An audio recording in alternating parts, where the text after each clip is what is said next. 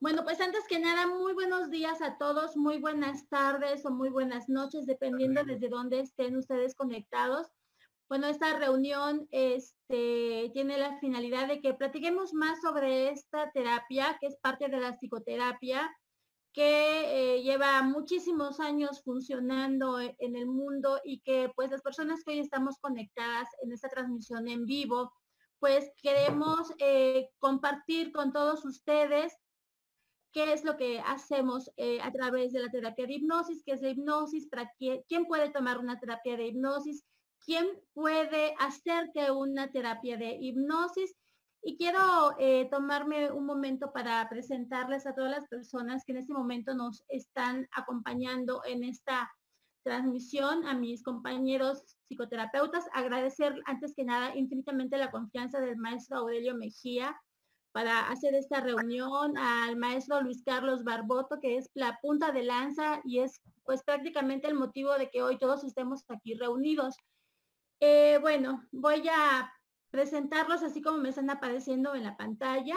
A Pepa Vijuesca, que nos acompaña desde España.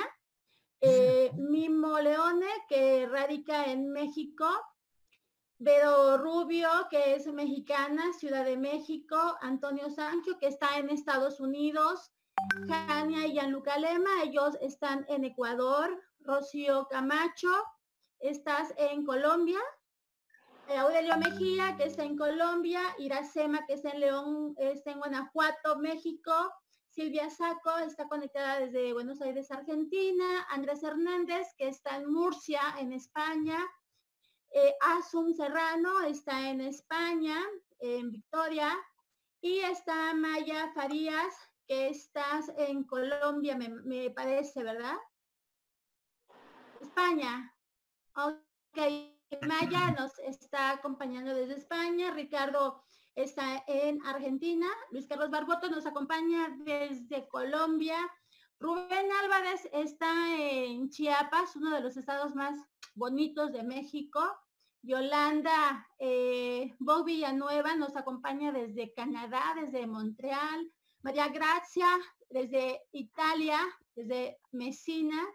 Y Caloyo y eh, que también está acompañándonos desde Madrid, España. Pues bueno, ellos forman parte de un gran equipo de terapeutas que están alrededor del mundo eh, brindando ese tipo de terapias. Ahora por la contingencia del COVID-19, pues no es posible hacer las terapias de manera personalizada, que es una manera este, pues convencional de hacer las terapias, pero todos ellos en este momento están brindando este servicio, esta, este apoyo a través de eh, videoconferencia, auxiliándose por diferentes plataformas. Unos utilizamos el OVO, unos utilizamos el Zoom, por Skype y la eficacia de esas terapias es idénticamente igual, ya sea presencial, ya sea en línea, la terapia rinde los mismos efectos. Así que bueno, ahora vamos a ver si tenemos comentarios del público.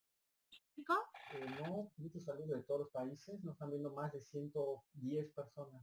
Ok, en este momento quiero comentarles a mis compañeros terapeutas que tenemos 110 eh, personas mirándonos en este momento. Eh, todo mundo está mandando muchos saludos, está subiendo. Quiero leer rápidamente los saluditos para que se sientan integrados también los que nos están mirando en este momento.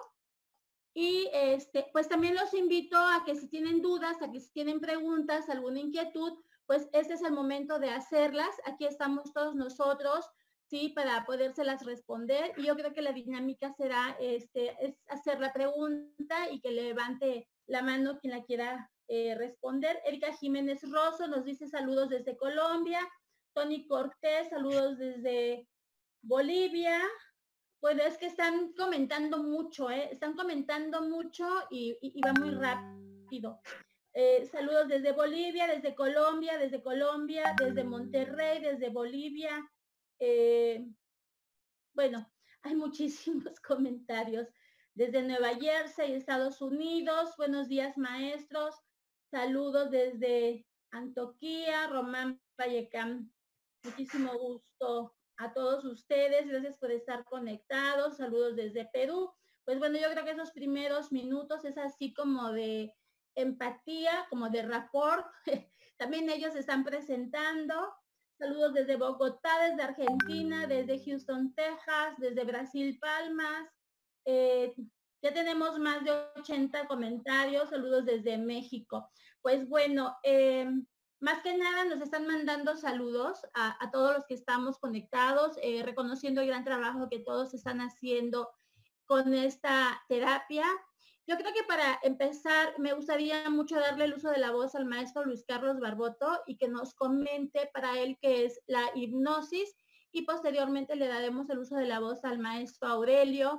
Y después, si alguien quiere hacer un comentario sobre cómo llegó a ser terapeuta, este, alguna anécdota, alguna anécdota con algún paciente. Entonces, mientras surge alguna pregunta por parte de la gente que en este momento nos está sintonizando, nos está mirando. Eh, si está de acuerdo el maestro Luis Carlos Barboto, puede quitar su micrófono y platicarnos qué es la hipnosis. Puedes controlar desde ahí, ¿verdad? Bien. Hola Candy, ¿me escuchas? Sí, sí, sí, ya escuchamos. Bueno, lo primero que todo es saludarlos a todos y darles un feliz día. Y qué dicha que se propicien este tipo de reuniones donde podemos ayudar a mucha gente y nos ayudaremos mutuamente también, porque vamos a aprender todos de todos. Yo tengo un calificativo de que yo, yo que soy, y yo soy un aprendiz permanente, permanente, y estamos aprendiendo permanentemente de toda esta eh, ciencia tan bonita que se ha empezado a desarrollar desde hace ya unos 40 años, desde por allá el año, no, más, desde los años 1940, cuando empezó eh, Erickson. La definición de hipnosis, para mí la más exacta o la que más me ha gustado es un estado alterado de la conciencia, porque la persona no está dormida completamente, está semidormida, está semidespierta y en ese momento va a estar en contacto con la parte eh, eh, consciente de él, porque no se duerme del todo, pero entra mucho más en contacto con la parte inconsciente. En ese estado la, se aumentan las memorias que, que tiene el ser humano. Nosotros tenemos una memoria cognitiva, entonces voy a acordarme de mucho más cosas, pero también aparece la memoria visual, aparece la memoria sensitiva y la sensorial. Entonces yo voy a estar viendo o Mm, recordando situaciones y es tan eh, intensa esa eh, memoria visual o sensitiva sensorial que yo pienso que es que la estoy volviendo a vivir y lo que estoy haciendo es recordarla. Está en esa, en esa dimensión. Y nos sirve simplemente para poder ayudar a sacar de la parte inconsciente aquellas situaciones que nos están perturbando y no sabemos por qué y poderlo sanar. Eh, para mí la, la hipnosis es una terapia de sanación, básicamente. Es cómo sanar, cómo llegar a sanar mi esencia, la esencia que va a influir obviamente en los otros cuerpos que tiene el ser humano. Nosotros tenemos una esencia, un cuerpo mental y un cuerpo material que es donde está el cerebro. Entonces, si yo sano mi esencia, si yo soy capaz de vivir en amor, cualquier situación de la vida, mi mente va a funcionar diferente, mi cerebro va a actuar y le va a dar órdenes al cuerpo en donde mi cuerpo material va a estar muy bien y se va a estar eh, inclusive ah, resolviendo problemas de orden físico. Pero el verdadero origen de, la, de, la, de este tipo de hipnosis es ayudar a sanar el espíritu. En algunas veces yo voy y sano a una persona o le ayudo a sanar porque yo no sano. Ninguno de nosotros es sanador. Nosotros somos instrumentos para que allá se produzca o no se produzca el proceso eh, de la persona, mm, según el proceso de la persona. Entonces habrá personas donde su proceso es sanar y sanar físicamente también, pero hay otros donde el proceso es sanar su parte espiritual y de pronto trascender. Pero lo importante siempre es buscar la sanación del ser espiritual.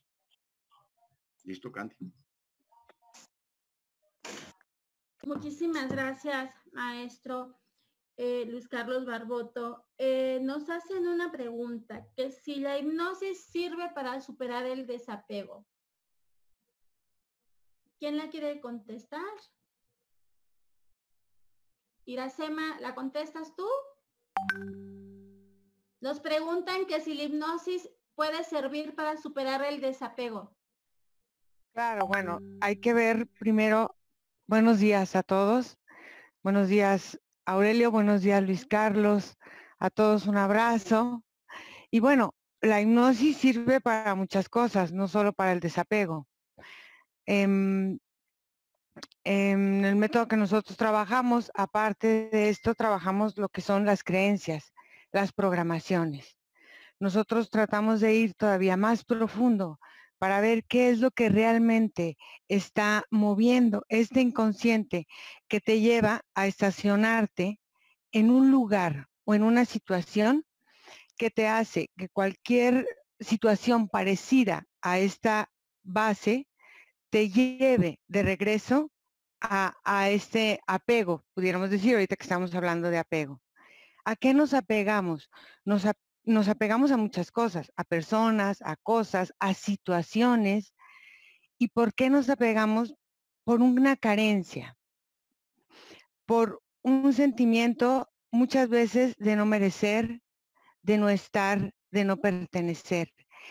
Entonces, en esta mm, forma de trabajar nosotros, todos los hipnólogos, buscamos qué es el fondo, qué es la raíz, la semilla de esa carencia que está detonando en muchas cosas en el exterior, porque al final de cuentas eso nos limita en el trabajo, en nuestras relaciones personales, en nuestras relaciones familiares, con nuestros hijos, porque al querer tener un apego, son acuerdos que vamos haciendo nosotros consciente e inconscientemente para ligarnos, para atarnos, para mantenernos atados a algo y el, el, el, o la maravilla de la hipnosis, el beneficio que tenemos es que podemos conectar con esta parte tan profunda y empezar a trabajar.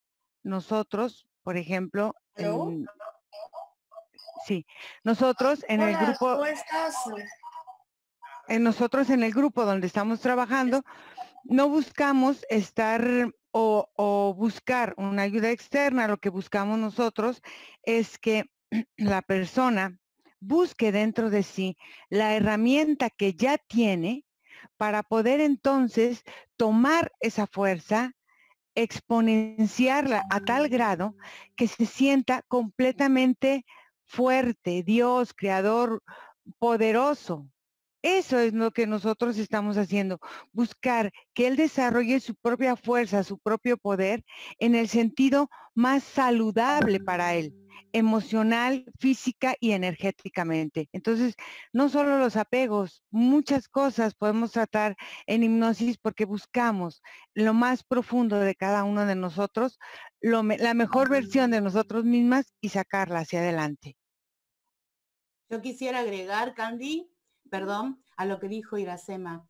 Eh, esas herramientas a las que se refiere es buscar las potencialidades que todos tenemos como seres humanos. Exacto. Y mm, esas potencialidades a veces se ven perturbadas por una sola palabra que todos los tenemos, que es el miedo. Entonces, por ese miedo que solemos tener, nos apegamos, nos aferramos a un montón de cosas. Entonces, Em, esta terapia, como en muchas este, situaciones, como dice la SEMA, te ayuda específicamente en la pregunta que hizo este, esta persona, es buscar la seguridad en uno mismo para valerse por sí mismo, ¿sí? sin estar apegado a nada ni a nadie. Entonces, es esa la seguridad que tenemos que tener. Y todo empieza por el amor hacia uno mismo, reconociendo esas potencialidades que están veladas por un montón de, situaciones que, bueno, en la terapia supuestamente salen, ¿no? Eso es lo que quería agregar. Muchísimas gracias, Silvia. Muy eh, acertado tu, comentario. Em, nos dice Jackie Telles, mi mamá hizo una terapia vía online con Doménico y vaya que se están notando muchísimo los cambios en ella. Muchísimas gracias, Jackie, por estar conectada y ya escuchó Mimo. Eh, nos pregunta Lina, ¿puedo realizar la hipnosis a un familiar cercano para poderle sanarme algo a mí misma como terapeuta? Yo creo que lo que puede hacer como ella terapeuta, ir a otro terapeuta para sanar, como hacen los psicólogos, por ejemplo. Los psicólogos este, tradicionales tienen su propio terapeuta, o sea, su propio psicólogo para tratar esos temas. Yo mm, me inclino hacia este, ir a otro terapeuta.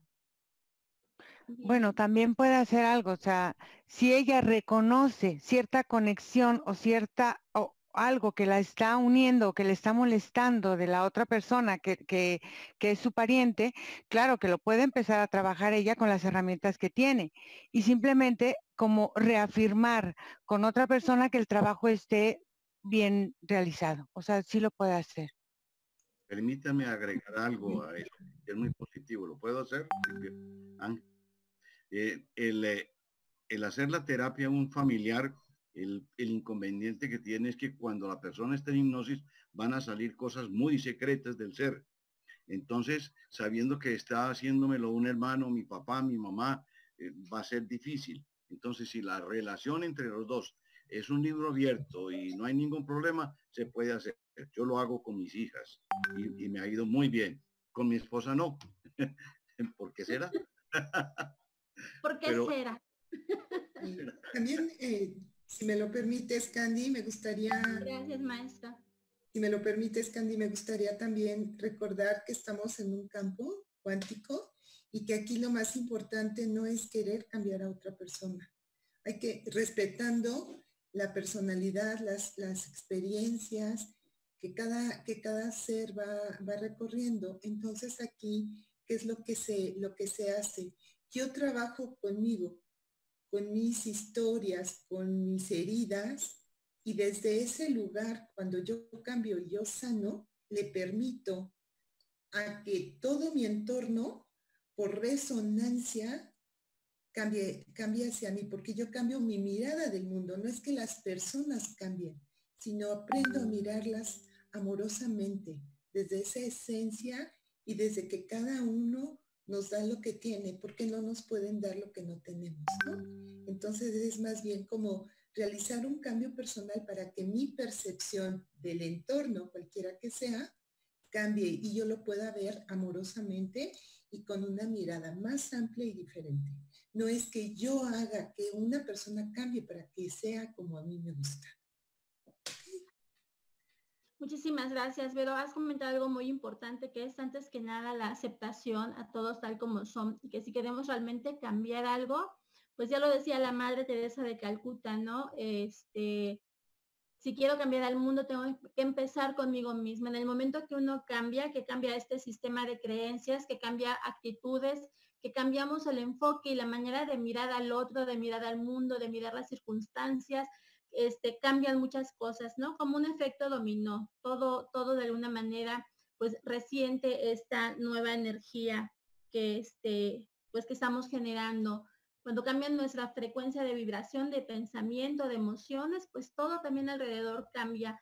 Eh, y si es de manera positiva, pues obviamente los cambios van a ser positivos. Si es de una manera negativa, pues también los efectos pues son negativos. Nos dice Carlos León, creo que es terapeuta, dice, ¿qué hago cuando estoy haciendo una terapia de hipnosis y mi paciente está trabajando bien y de repente se queda dormido? A ver, ¿a quién le ha pasado eso? a mí eh, me ha pasado. A ver, Doménico, luego Antonio y luego Silvia. Adelante, Mimo. Quítale el micrófono. El silenciador, a Mimo. Estoy. Bueno, eh, los que me conocen y, cuando hemos hecho los cursos he dicho esto varias veces y es la, la, verdad.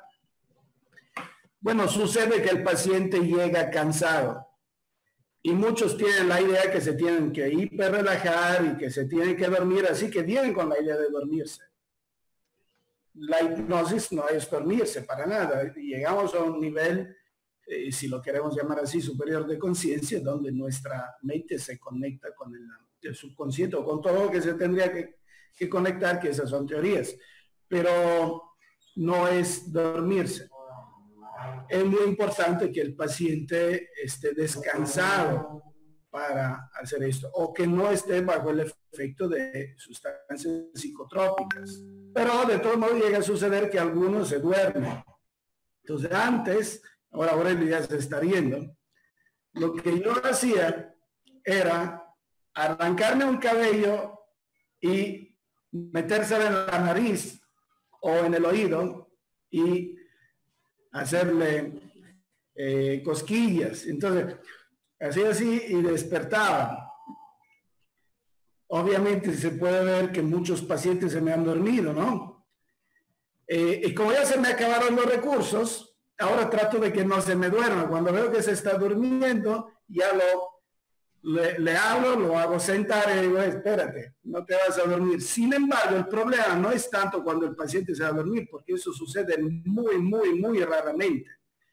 Lo que sucede un poco más seguido, y eso sí es agotador para el terapeuta, y, luego cuando nos sucede, tanto Aurelio como a mí nos estamos chateando en, cualquier parte del mundo, estamos eh, con, con el WhatsApp, es cuando viene el paciente que nosotros llamamos plano. O sea, ese paciente que se queda media hora para contestarte una pregunta, no es que esté dormido, es que se está viajando ahí por su cuenta, por sus cosas, y, hace perder mucho tiempo. Entonces, tú organizas una dinámica, un camino de siembra, sabiendo lo que quieres cosechar adelante, pero ese no te responde, se queda ahí. Y a lo mejor tú también estás un poco cansado, así que cuando contesta, hasta casi se te ha olvidado la dinámica que le estabas armando y tienes que volver a armar para, para hacerlo. Y eso es sumamente agotador. En lo personal, cuando me sucede con la primera terapia del día, un paciente así sí me, me, cansa todo el día.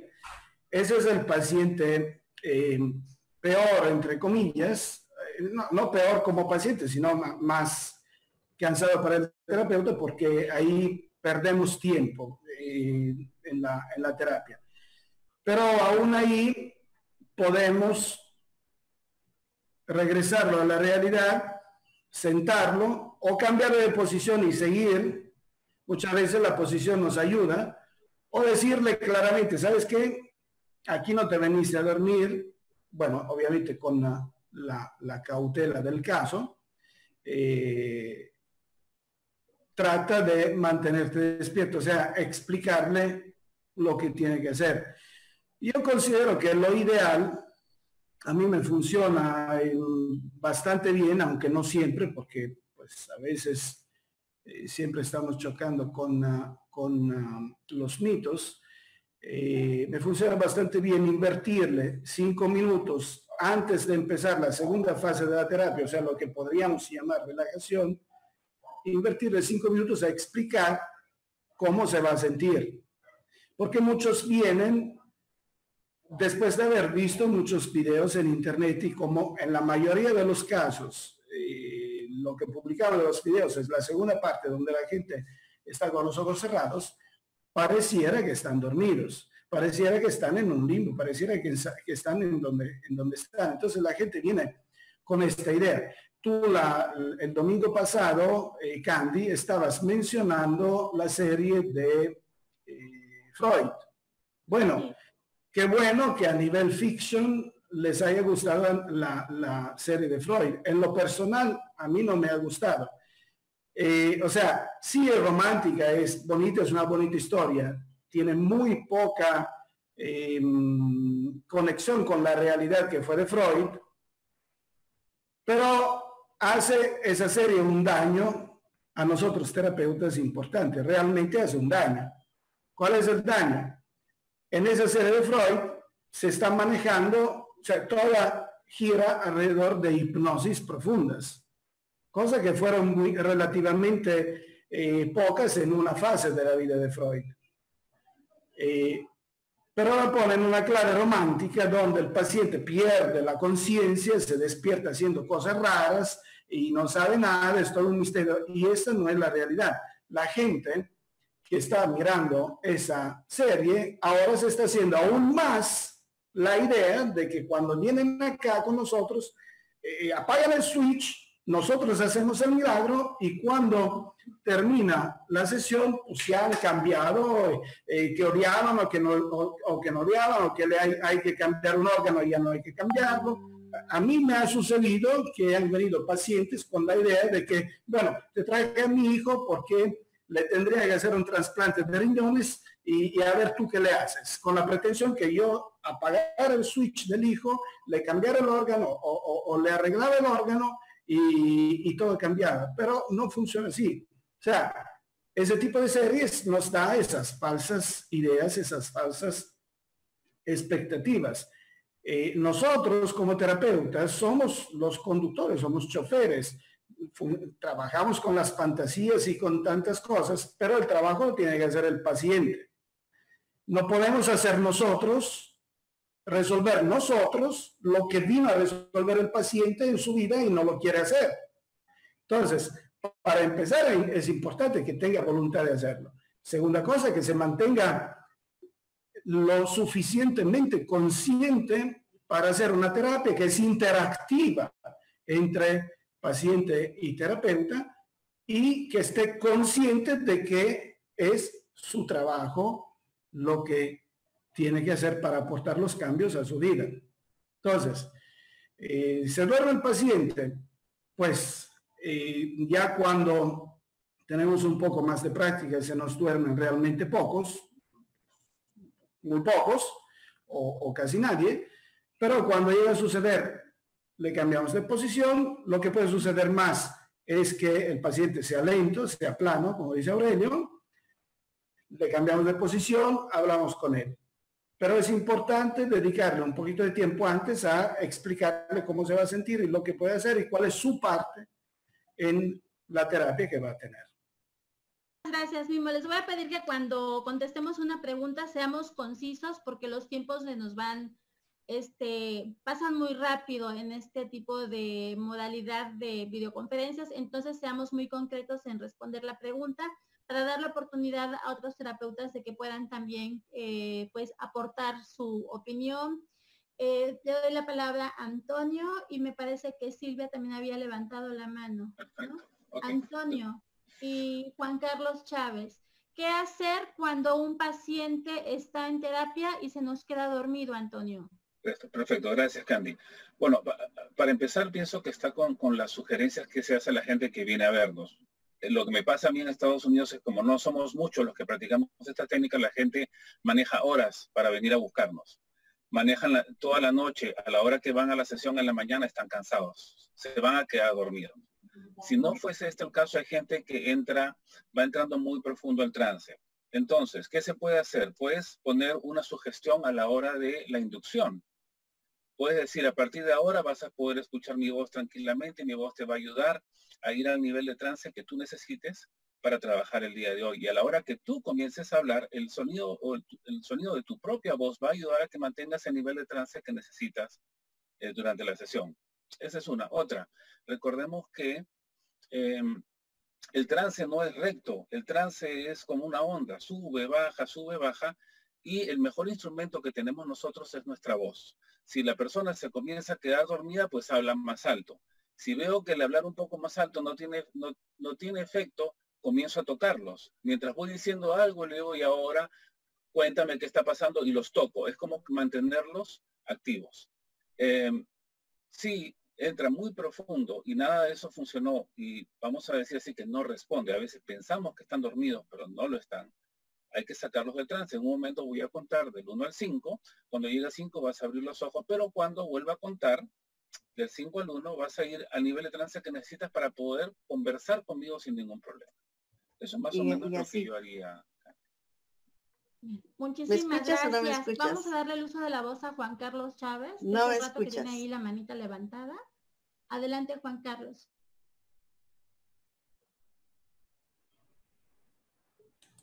Juan Carlos es de Puebla, México, y también es este médico odontólogo y lleva muchísimos años eh, haciendo terapias de hipnosis. Es un gusto tenerte con nosotros, Juan Carlos. Adelante. Un gusto nuevamente. Saludos a todos. Eh, lo que yo hago, las pocas veces que me ha pasado, han sido pocas veces, Eh, y nos sucedió eh, la primera vez que conocí personalmente al maestro Aurelio, no sé si se acuerde maestro, nos sucedió en Tabasco, con una paciente que decía que ella tenía mucho sueño y que quería quedarse dormida. Entonces le di la sugestión de que cada número que yo contara iban a ser las horas de sueño que ella iba a dormir y lo que hago es que empiezo uno, una hora de sueño, dos, dos horas de sueño y cuento hasta el número ocho y eso es rapidísimo el conteo. Y ya le digo que ha dormido ocho horas de sueño, por lo tanto ha recuperado mucha energía y ya posteriormente regresamos, la despierto, la levanto vuelve nuevamente y la hago otra vez conciencia de que ya durmió muchas horas, que se siente despierta, que se siente con mucha energía y procedemos nuevamente a estar en el estado eh, alterado de conciencia o el estado hipnótico. Eso es lo que yo hago y ha funcionado perfectamente bien. El maestro Aurelio ya se dio cuenta que sí funciona. Bien, pues muchísimas gracias, Juan Carlos. Eh, tengo em, una pregunta. ¿Cómo influye la personalidad del terapeuta, su nivel de evolución de conciencia para el éxito de una terapia? Que si el nivel de conciencia de o la evolución espiritual del terapeuta eh, influye para poder tener éxito en una terapia. ¿Alguien quiere contestar? Andrés Hernández, adelante Andrés. Hola, muy buenas tardes. ¿Me escucha? Sí, te escuchamos muy bien, Andrés. Muy bien, me alegro mucho. Un placer estar con ustedes. Bueno, la verdad que la pregunta es el punto fundamental en el que yo me, sostengo y me centro desde, desde que inicié este camino, ya que considero que el terapeuta ha de ser una palabra que normalmente no se le adhiere al terapeuta, que es la ética. O sea, sí, ¿qué quiero decir con ética?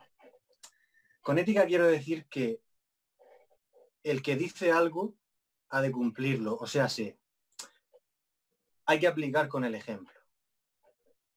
Eso es para mí lo fundamental. Es decir, hoy... ¿Perdón? Ah, pensaba que había, que había hablado. Vale. Eh, para mí este es el punto fundamental. ¿Por qué? Eh, si nosotros recibimos clientes X con ciertas patologías, dolores, dolencias, problemas de todo tipo, porque ya no solo tiene que ser un conflicto a nivel salud física, sino que puede ser un conflicto a nivel económico, un conflicto a nivel pareja, un conflicto en cualquier área de la vida. La cuestión está entonces en comprender que si esa persona que llega a mi vida con un problema que de alguna forma me demanda que le ayude a responder ese problema. Yo ese problema no lo he resuelto. Ojo, aquí quiero hacer un paréntesis, porque claro, no podemos pretender ser perfectos porque entonces ahí nos estaríamos engañando también. Es decir, los terapeutas requerimos de nuestro trabajo interior y eso no quiere decir cuando sea perfecto, entonces trataré a la persona. No, evidentemente no. Lo que quiero decir es que Vamos a ponerlo en un ejemplo claro. Si una persona llega a mi vida con un conflicto emocional en la relación de pareja, es muy importante que yo ahí haga diferentes análisis de lo que se me está reflejando ahí. O sea, si, si yo tengo un conflicto con mi relación de pareja y me viene esa persona con ese conflicto de relación de pareja, claro, yo puedo decir, como yo no lo tengo resuelto, entonces no la trato. No, la cuestión no es esa, sino la cuestión es observar qué es lo que la vida, por decir así, el universo, el entramado, como le queramos llamar, nos está mostrando a través de la persona. O sea, si la persona eh, que viene a la terapia o al curso o a lo que sea, es un reflejo, es un espejo de mí. Entonces, ahí es donde verdaderamente está la ética del terapeuta, en analizar continuamente cuál es el problema que aún no ha trascendido, que aún no ha superado y qué es lo que verdaderamente nos están mostrando eh, estos clientes, estos pacientes, como les queramos llamar, que están ahí. O sea, creo que este es el punto fundamental y que, bueno, mm, en otro momento me gustaría desarrollarlo con más amplitud, pero verdaderamente si el terapeuta, psicólogo, como queramos llamar, no se trabaja interiormente, la terapia no va a ser exitosa, nunca.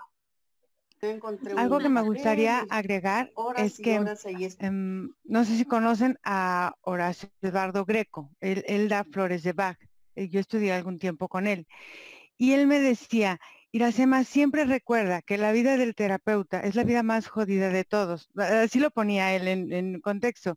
Le decía yo, ¿por qué maestro? Dice, porque todos los días de tu vida, cada minuto, la vida te va a mostrar lo que tienes que trabajar. Entonces, apoyando lo que decía Andrés, es verdad.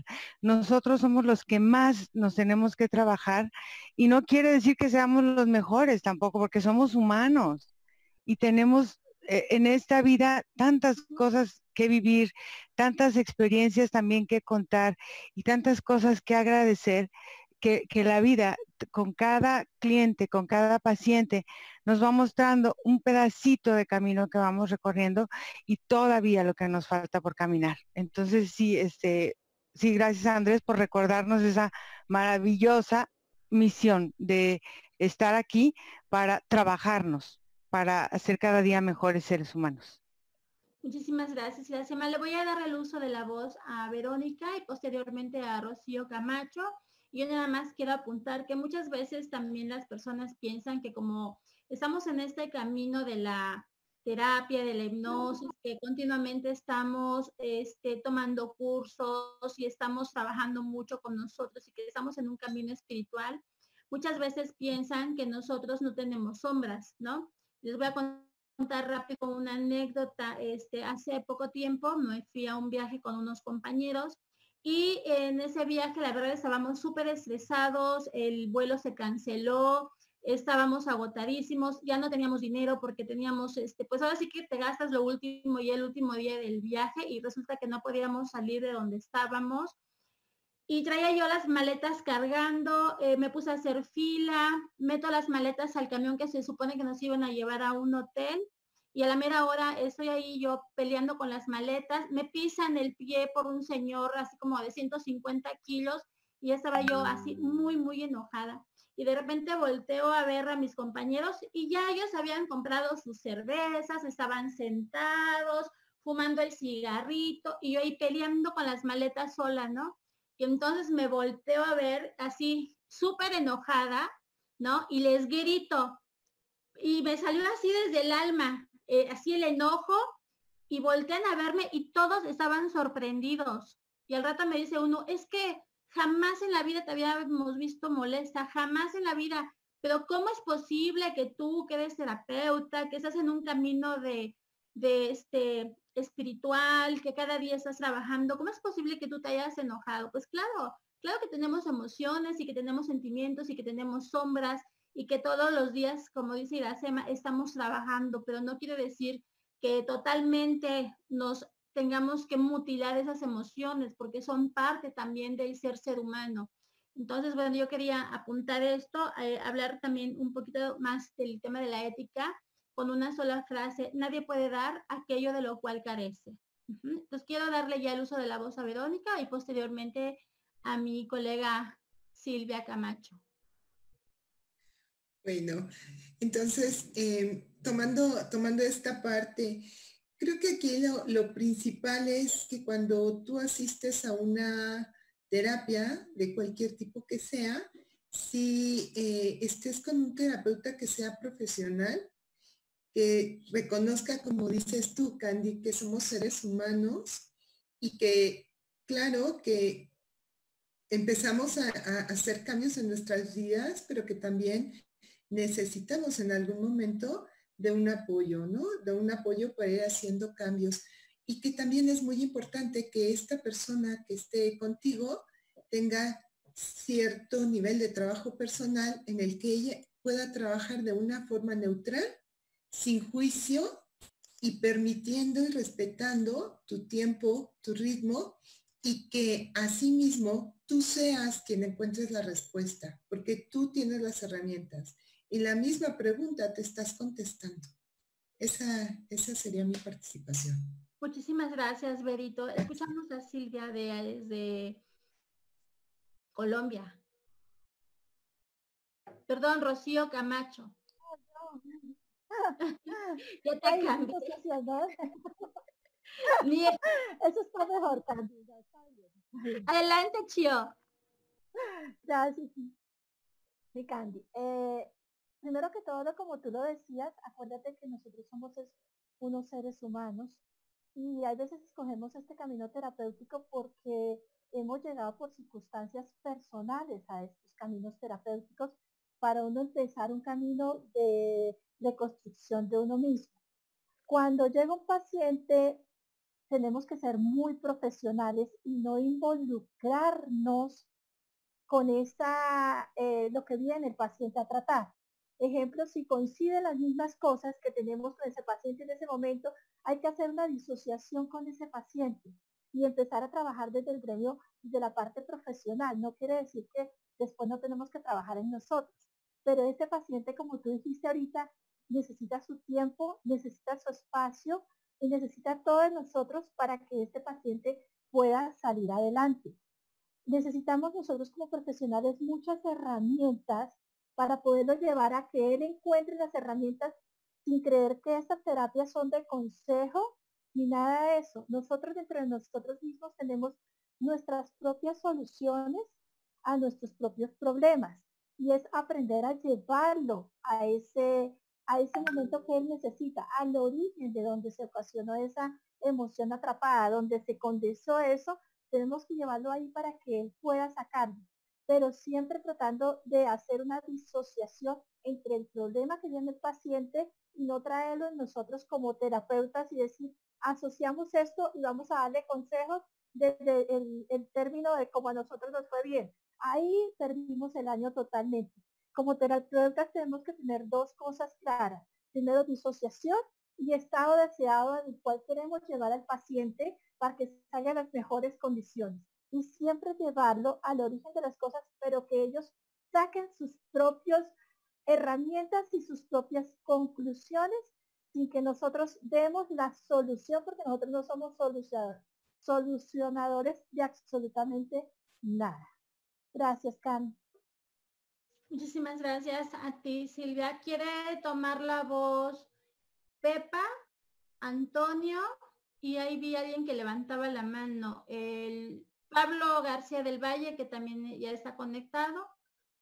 Eh, vamos a darle el uso de la voz a Antonio y luego a Pepa. Ah, gracias, Cani. Creo que estaba Rubén primero. No sé si él quiere. Rubén? Ah, también Rubén tiene ahí la manita alzada. Ok, si gustan que hable a, eh, Rubén. Rubén, yo sigo. Adelante, Rubén. Rubén, que es también médico pediatra, es un excelente cirujano pediatra, él está en Chiapas y desde hace muchísimo tiempo también eh, practica hipnosis con sus pacientes, igual que el doctor Pablo del Valle, que también este, practica hipnosis que tienen, sobre todo los pacientes que se someten a las endoscopías, también les da su dosis de terapia para que se relajen. Entonces vamos a escuchar al doctor Rubén. Adelante, Rubén. Muchas gracias, Candy. Gracias por la invitación.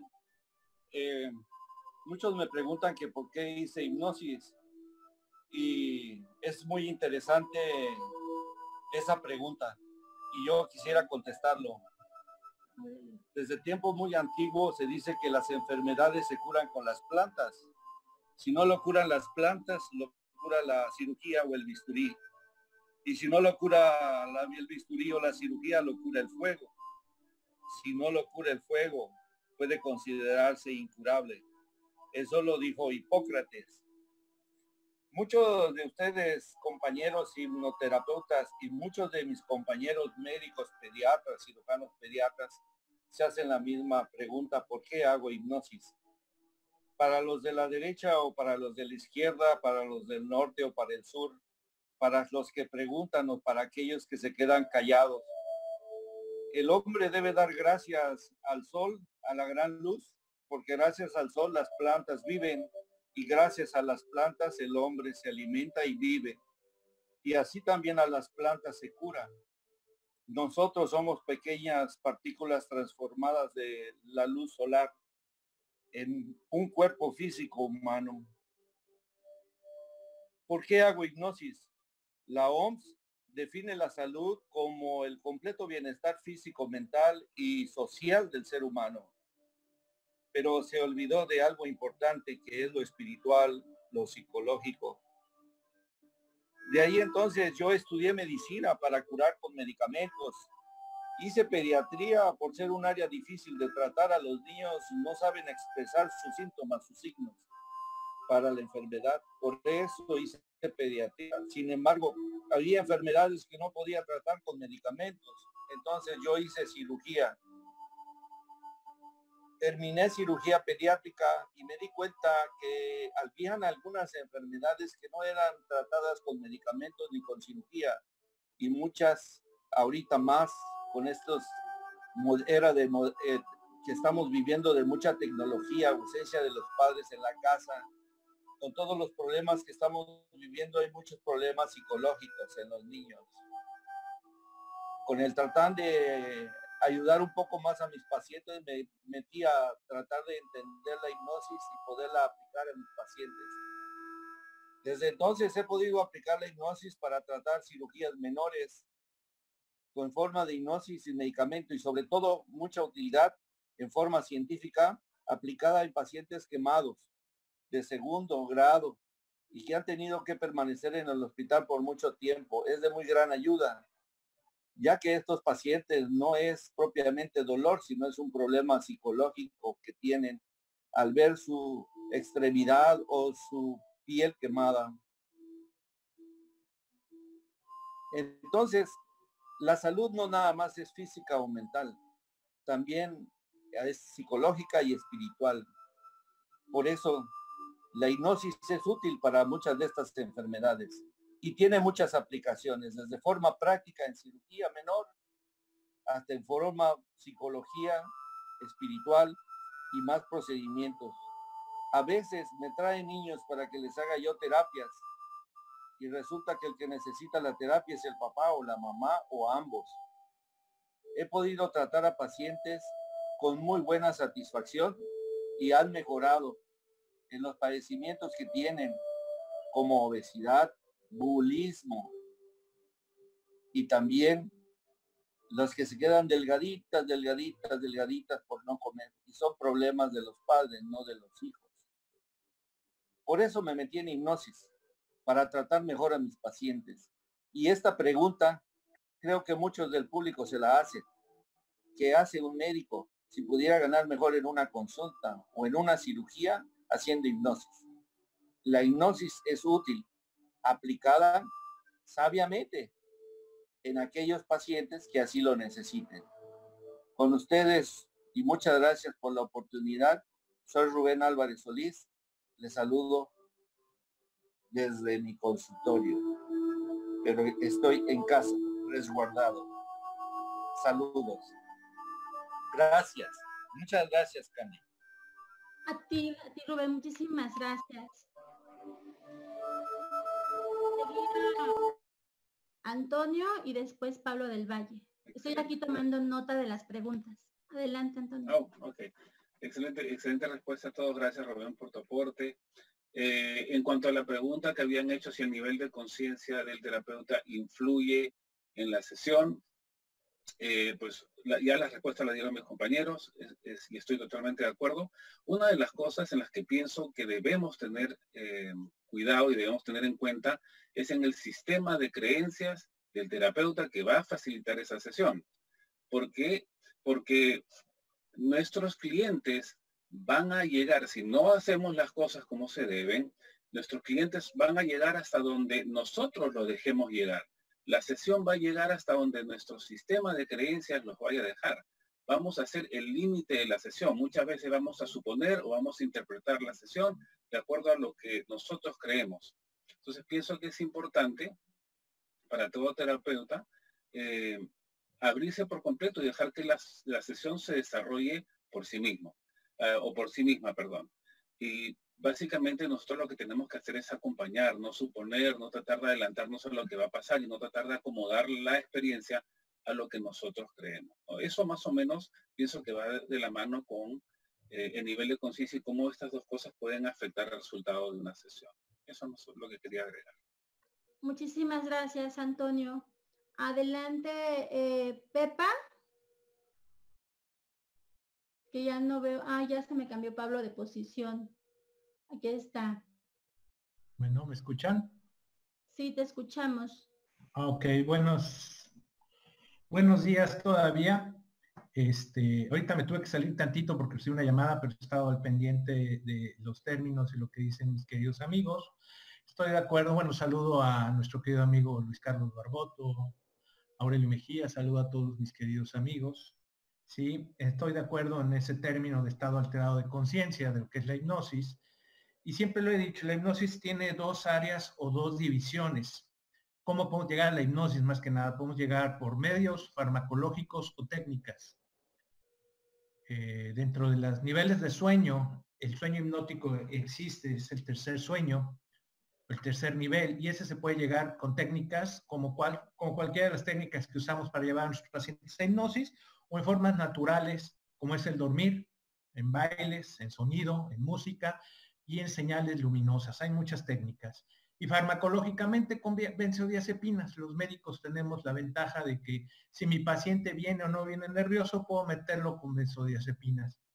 Yo les puedo decir que, eh, como le dijo Candy, yo lo manejo en cirugía y lo manejo en endoscopías. Eh, muchos pacientes cuando llegan a hacer la terapia llegan muy nerviosos porque vienen bajando del avión. Vemos que esos pacientes no es fácil meterlos a plano hipnótico. Eh, igual en las endoscopías, cuando yo empiezo la endoscopía, ya sé qué paciente va a entrar al plano hipnótico y qué paciente no va a entrar al plano hipnótico. El 80% de mis pacientes entran a planos hipnóticos muy, muy padres. Pablo, perdón, perdón, Pablo, la pregunta era, bueno, la pregunta que nos hicieron fue... Voy a eso, ¿cómo no? ¿De qué manera influye la evolución espiritual del terapeuta en una sesión de hipnosis. Bueno, a eso voy precisamente. Yo estoy explicando esto porque es muy importante entender que dentro de la hipnosis no solo el paciente va a llegar al sistema de creencias que uno tenga o que tenga él. Nosotros podemos hacer que el paciente alucine o piense lo que él quiera. Muchas veces lo hemos platicado, Candy. Eh, mientras más conocimiento tengas de este sistema de creencias de cualquiera de nuestros pacientes, mejor vas a poder bajarlo a un plano hipnótico y mejor vas a poder llevar tu terapia. Eso es muy, muy importante. El problema real es que hay mucha gente que abusa de eso y hace que el paciente alucine lo que él quiere a fuerzas alucinar. Tú sabes muy bien, como psicoterapeuta, que eso no debes de hacerlo. Tienes que llevar a tu paciente y él saque sus problemas. En sí, la hipnosis, ¿sí? es una cuestión, es una terapia o es una técnica que empezó en medicina, como dijo mi querido amigo Rubén, y después varió o, migró a la psicología. Bueno, ya que salió la psicología, migró a la psicología. Es muy importante el sistema de creencias, no solo del médico o de la persona que está haciendo la terapia, sino del paciente. Si el paciente cree en el diablo, Puedes manejar el diablo sin paciente que en Jehová, vas a poder manejar Jehová. ¿Qué es lo que tiene que tener el terapeuta? Mi punto muy particular y científico, conocimiento. Y obligarlo a que crea lo que tú quieras, no. Es importante que crea lo que él crea, quiere, y sobre eso manejarlo. Por eso hay que saber un poquito de todo, yo pienso, porque hay gente que a fuerzas los van a querer encasillar sobre algún tipo de creencia propia, los católicos, van a querer a fuerza sobre Dios, sobre Cristo, y no muchas veces el paciente tiene otras ideas, entonces sobre sus ideas que él las explore va a ser mejor. Si él no la dice, va a ser mucho mejor. ¿Sí? Es cuanto ahorita este, para seguir participando. Gracias, Pablo. Este, le damos el uso de la voz a Pepa que ya tiene muchísimo rato esperando ahí con la manita y pedirles a todos que pongan sus teléfonos en silencio, por favor. Y si es posible no tener eh, musiquita de fondo ni nada porque luego este, interfiere en la charla. Adelante, Pepa, desde España. Debes de, de quitar tu silencio de micrófono porque no te escuchamos. Quítale el silenciador por favor. Ahí, ahí, ajá. Listo, Pepa, ya, ya, ya está. Gracias. Adelante. Gracias. ¿Me oís ya? Te escuchamos. Sí. Muy bien, gracias. bueno, La verdad es que estaba esperando, pero no importa porque todos mis compañeros han aportado eh, cosas muy, muy interesantes, ¿no? Bueno, la síntesis o el, principio de, la consulta, creo entender que era eh, sobre el terapeuta y si el terapeuta a, lo largo de, su vida o, lo que le lleva a realizar esas terapias también ha hecho su propia transformación personal. Yo creo que es muy, muy importante, muy importante que cada uno haga su propia transformación personal. Eh, yo a lo largo de los años, y de hecho empecé eh, haciendo, o sea, recibiendo yo esas terapias. Y eso me ayudó a transformar y a cambiar. Eso por un lado. Por otro lado, eh, después también me ayudó y muchísimo en determinados trances de mi vida verdaderamente dramáticos y traumáticos a comprender que la muerte no existe. Es decir, me ayudó a, en el momento en que surgieron esos grandes, eh, esas grandes situaciones, esas situaciones dolorosas y duras, yo estaba preparada, porque de hecho a través de la terapia regresiva se viven muchas experiencias de vidas pasadas. Puedes comprender que en realidad no mueres, sino que simplemente cambias un aspecto físico para pasar a, otra experiencia, ¿no? Tu alma pasa a vivir otra experiencia de vida. Entonces, cuando una persona, un paciente o consultante viene a hacer esa terapia, eh, es muy importante que tú hayas pasado por ese proceso parecido o similar al que él va a pasar, porque en cualquier momento vas a poder comprender por dónde él está transitando. Y al mismo tiempo le vas a poder ayudar a que comprenda este tema, que la muerte no existe y que los conflictos que tiene actualmente probablemente los trascenderá sin mayor problema, ¿no? Esto es lo que me parece muy importante, que el terapeuta haya experimentado de alguna forma ese proceso por el que la otra persona va a pasar, porque se van a unir, van a confluir en esa misma vibración, en ese mismo pensamiento y vas a poder ayudar de esa forma eh, al, paciente o consultante que viene en esos momentos. Esta era mi aportación. Yo sí he hecho, he pasado por todas esas terapias y transformación interior, porque creo que si yo me transformo y hago un cambio, también puedo ayudar más a esa persona en su propia transformación interior. Esta era mi aportación. Gracias, Candy. Gracias a todos y saludos. Muchísimas gracias, Pepa. Vamos a hacer un poquito más ágil la dinámica porque hay muchísimas preguntas. Hay aproximadamente 250 personas conectadas en este momento, mandándoles saludos a todo mundo, este, a todos ustedes, reconociendo la gran labor que, se realiza como terapeutas. Están muy contentos, que qué bueno que se está haciendo este tema abierto, que estamos aquí para responder algunas dudas, algunas preguntas. La verdad es que todos los mensajes que estamos recibiendo en este momento la verdad es que no puedo leerlos todos porque van muy rápido, pero he rescatado algunas preguntas en este momento, que son cuatro, y para poder hacer más ágil esto, ¿qué les parece si lanzamos la pregunta y escuchamos dos opiniones y nos vamos a la siguiente pregunta, tratando de ser muy breves y muy concisos en nuestras respuestas? La siguiente pregunta es de Elvia María y dice, ¿qué ejercicios recomiendan para meditar y concentrarme? porque no logro aquietar mi mente. Verónica va a responder la pregunta. ¿Alguien más? Sobre meditación. Bueno, Verónica va a responder esta pregunta y nos vamos a la siguiente. Adelante, Verito. Y cuando eh, realmente, eh, cuando nos damos cuenta que no podemos aquietar la mente, lo primero es hacernos conscientes de esa cantidad de pensamientos que pasan en nosotros todo el tiempo y que, y que realmente no les prestamos atención. Entonces, lo que es muy importante es hacer esa respiración consciente y que es respirar siendo consciente del momento en que estoy inhalando y precisamente como lo hacemos eh, para, entrar en estados de relajación para hipnosis, bajando ese, ese oxígeno, ese aire hasta el abdomen y exhalar. Cuando nosotros prestamos atención a cómo estamos respirando y qué, conforme vamos haciendo esas respiraciones, ¿qué nos está mostrando el cuerpo? Es aprenderlo a escuchar y soltar, o sea, lo reconozco, te escucho, te siento y suelto. Y de esa manera podemos hacerlo muy fácilmente. Y les dejo la palabra a mi amigo Juan Carlos. No, Candy, ¿puedo? Adelante, Rocío. Ah, bueno, acuérdese que la, la mente eh, tiene que ver figuras eh, dentro de ellas para poderse aquietar más. Entonces, eh, lo más fácil que pueden hacer es pongan en el celular, en cualquier cosa, una velita y la llama una velita.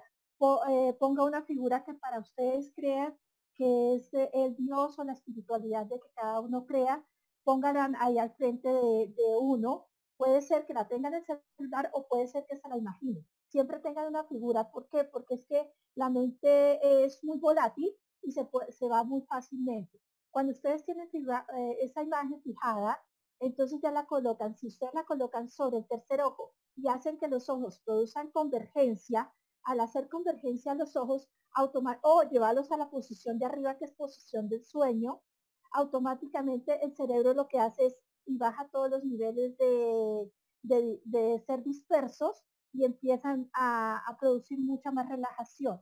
La otra cuestión es aprender a contar. Siempre cuando inhalamos, mantenga la respiración la misma cantidad que se inhala, la misma cantidad que se tiene y la misma cantidad que se exhala. El contar es una cuestión también de enfocarnos. O sea, hacer meditación tenemos que enfocarnos en algo para que no perdamos esa concentración sobre las cosas. Así como lo hacemos en hipnosis cuando nosotros eh, damos todas las pautas para que la gente empiece a entrar en relajación. Eh, buenas, ¿cómo estás? ¿Me oyen? Sí, este, vamos a hacer la siguiente pregunta para optimizar el tiempo. Y tiene levantada la mano Juan Carlos y tiene levantada la mano Rubén Álvarez a quienes les voy a dar la pregunta que sigue. ¿De qué manera puedo realizar terapia a una persona que está enferma y que no puede estar en una sola posición por mucho tiempo? Eh, ¿Me la puedes contestar, Juan Carlos? Y puedo que tienes la mano levantada.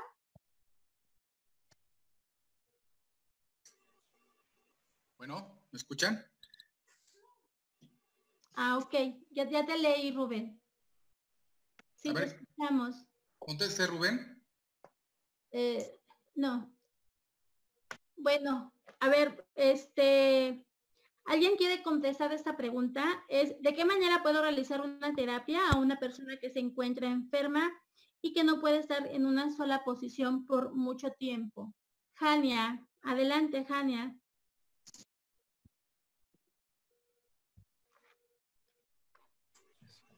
Muy bien, eh, saludos a todos.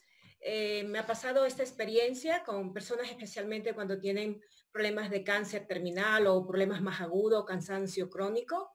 Normalmente se trata de buscar una posición eh, cómoda de la persona, eh, si es posible sentado, si es posible una, una postura donde esté cómoda. Y de allí vamos a tratar en lo posible haciéndole una introducción para que no se canse demasiado y poder establecer esa inducción de una manera muy eh, eh, ligera y a la vez profunda, digamos una parte media, donde podamos trabajar. Como nosotros también trabajamos la técnica que es hipnosis introspectiva, también trabajamos con la energía. En el momento que vamos liberando a través de la liberación de cada síntoma de cada recuerdo, de cada trauma del paciente, vamos liberando esas emociones y el paciente en ese momento eh, se va sintiendo mejor. Y esto nos permite ayudar especialmente en trabajar en cosas concretas, porque lógicamente llega un momento que nosotros, como ellos eh, eh, se cansan demasiado, no podemos avanzar una terapia muy extensa. Tenemos que ir a lo concreto y ahí aplicamos la parte de los síntomas y vamos directamente a esa problemática para poder ayudar a liberar ese peso que le está agobiando eh, y eso nos permite eh, avanzar más rápido y ser directos en la problemática del paciente. Muchísimas gracias, Jania. ¿Alguien quiere comentar algo? Iracema. Sí. Iracema y luego Yolanda. Sí, nosotros este, también trabajamos con pacientes que, han tenido estas situaciones de cáncer o, enfermedades terminales, pero les, les proporcionamos un apoyo de una persona que trabaja como soporte telepático. ¿Cómo funciona la persona que trabaja como soporte telepático? La persona entra en hipnosis para trabajar en el campo energético de nuestro cliente. Nuestro cliente en determinado momento, hay, hay gente que me ha tocado personalmente que tiene llagas y tiene que estar con una con una, ¿cómo se llama? Un movimiento que de la enfermera que adecuado. Entonces, a veces ellos no pueden estar en un estado como muy profundo eh, por el mismo dolor. Entonces les ofrecemos la opción de soporte telepático, que son, en el, caso de nosotros, son chicas que trabajan con nosotros diariamente, que están entrenadas para poder entrar en un estado profundo de hipnosis y poder este, contactar con la parte energética de nuestro cliente o paciente, como cada quien decida llamarlo, y entonces nos permite ver lo que el paciente, nos, cliente nos está mostrando para que nosotros podamos trabajar, como dice Jania, en, cuestiones concretas y puntuales acerca de lo que el cliente quiere el trabajar. Es lo que te puedo aportar rápidamente y concretamente. Gracias. Muchísimas gracias. ¿Alguien quería comentar? Eh, Yolanda. Sí, ¿me escuchan? Sí, te escuchamos. Yo lo único que quiero agregar es que en la inducción, cuando hay una persona que tiene la dificultad de estar largo tiempo en la misma posición. En la inducción, generalmente le digo que puede acomodarse. Como si estamos comenzando o después, puede acomodarse en el momento que lo necesite, que encuentre una posición donde no le moleste, aunque estemos en la, haciendo la sesión. Entonces eso me ha funcionado y y era lo que quería decirles, que no es muy largo, pero para mí es concreto. Muchísimas gracias, Yolanda. Eh, habíamos quedado dos respuestas por pregunta. Eh, aquí hay una persona que hace una pregunta directa y que quiere que se la responda el maestro Aurelio. Y la pregunta, maestro Aurelio, es, ¿qué le recomendaría usted a un terapeuta en hipnosis que está empezando a hacer sus terapias? O sea, ya está capacitado y en ese momento empieza a atender eh, pacientes. ¿Qué recomendaciones, qué sugerencias, qué consejos le pudiera dar a una persona que está empezando a hacer terapias?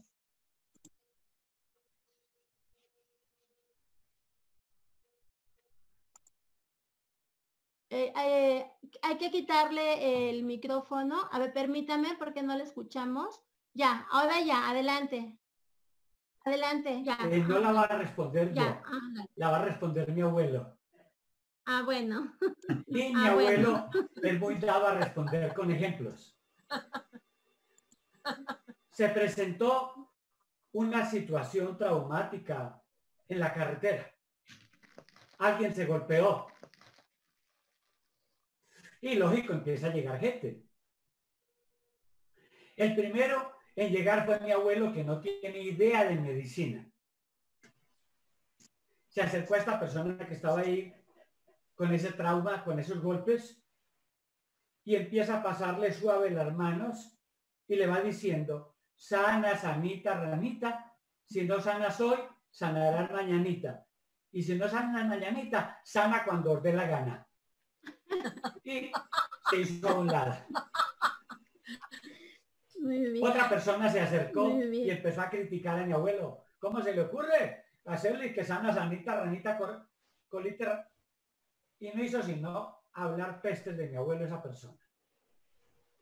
Otra persona se acercó muy académica dijo, no lo pueden tocar, no lo pueden mover, espere que voy a localizar por internet a ver cómo pido una cita para que un traumatólogo la atienda. Listo, ya lo conseguí, que tiene cita para el año entrante y se fue convencido de que había hecho muy buena labor.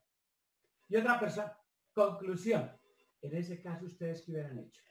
Lógico, la respuesta es fácil. En ese caso, lo mejor es que cada uno nos dé su aporte en la medida en que sus recursos lo permitan. que dé de lo que tiene. Pero a la persona hay que ayudarle en ese momento. No la podemos postergar para el año entrante. Pues eso fue lo que yo hice cuando comencé. Yo no tenía idea de hipnosis terapéutica, la hipnosis que yo sabía era la de espectáculo que me enseñaron en la escuela. No tenía idea de lo que era psicología, no conocía a Freud, mucho menos a Jung. Pero ¿qué fue lo que aporté? Buena intención. Y aporté vocación. Y a la vocación le fui uniendo la acción de ayudar. Y a la acción de ayudar vi que le aportaba mucho el conocimiento. Entonces empecé a leer libros, porque en ese tiempo Internet no existía. Y con los libros que logré conseguir de hipnosis, más la vocación de ayudar que tenía, más la actitud positiva que estaba poniendo a cada paciente, fue dándome las herramientas para que yo también aprendiera. Yo aprendí de los pacientes. Fue un proceso gradual y me ha permitido llegar hasta donde estoy después de 25 años. En cuanto a la pregunta, que si el paciente se mueve mucho, que si no se acomoda, que qué hago. Mi experiencia es, en los 25 años que yo he tenido en esto, no he tenido un paciente de esas circunstancias. Entonces puede que sí lo tenga, pero cuando lo tenga, yo estoy seguro que entre mi abuelo y yo, con la experiencia que iba adquiriendo, algo va a resultar. Pero yo no llego ya con una idea preconcebida de cómo voy a actuar. Nunca en ninguna de las terapias lo hago. Yo voy dejando que fluya la espontaneidad y eso va saliendo. Entonces, ese era mi aporte. Muchísimas gracias, maestro Aurelio. Hay muchos comentarios. Este, Laura Fontana dice que ama al abuelo del maestro Aurelio. Jorge Vergara, al fin habló Aurelio, por favor déjenlo hablar más. Jeremy Frayon, saludos desde París, después de 250 terapias. Muchísimas gracias, Aurelio, y a tu abuelo. Irma Barrera dice, te amo, Aurelio. Hermes Dor pregunta que cuántas terapias son necesarias para definir qué tipo de terapia es la mejor para el paciente. No le entendí muy bien a la pregunta. Y bueno, eh, Mauregui Cristian dice eh, espiritualidad. El maestro Aurelio en el principio se dejó guiar por su espiritualidad. Y bueno, son los comentarios, este, los últimos comentarios generados. Y vamos a retomar las preguntas. Y yo estoy muy de acuerdo con, con el maestro Aurelio. Yo creo que el terapeuta, el mejor terapeuta, es aquel terapeuta que se deja llevar por el corazón, por el sentimiento, que hace una muy buena conexión con el paciente, que genera mucha empatía, que hace un buen rapport, ¿no? Y creo que eso vale muchísimo más eh, que cualquier título universitario, porque cuántas veces puedes sanarte más un buen amigo que tiene esa buena disposición de escucharte, de acompañarte, ¿no? Que a veces resulta mejor. Y no estoy desestimando los títulos universitarios de ninguna manera. A lo que voy es que yo creo que este consejo que, tomo del maestro Aurelio es eh, hacer las cosas desde el amor, desde el corazón, ¿sí? Y dejarnos guiar por la intuición y esta espiritualidad que menciona esta participante desde el Facebook. Hay una pregunta, la siguiente pregunta es, em, ¿cómo lograr que un paciente que es muy racional pueda entrar en trance? Porque esta persona ha querido hacerle hipnosis a un paciente este, y no logra que, entre eh, en hipnosis. Entonces, él pregunta que cómo le puede hacer para que su paciente realmente entre a este estado de conciencia alterado para que pueda trabajar. Eh, Andrés, adelante. El maestro Aurelio quería decir algo ahora mismo. no, pues aprovecho, aprovecho para decir Primero que en este momento eres tú la persona ideal para esa pregunta que acaban de hacer, porque te conozco tu trabajo. Pero había quedado pendiente lo de las creencias, que si debemos interferir o no interferir en las creencias del consultante.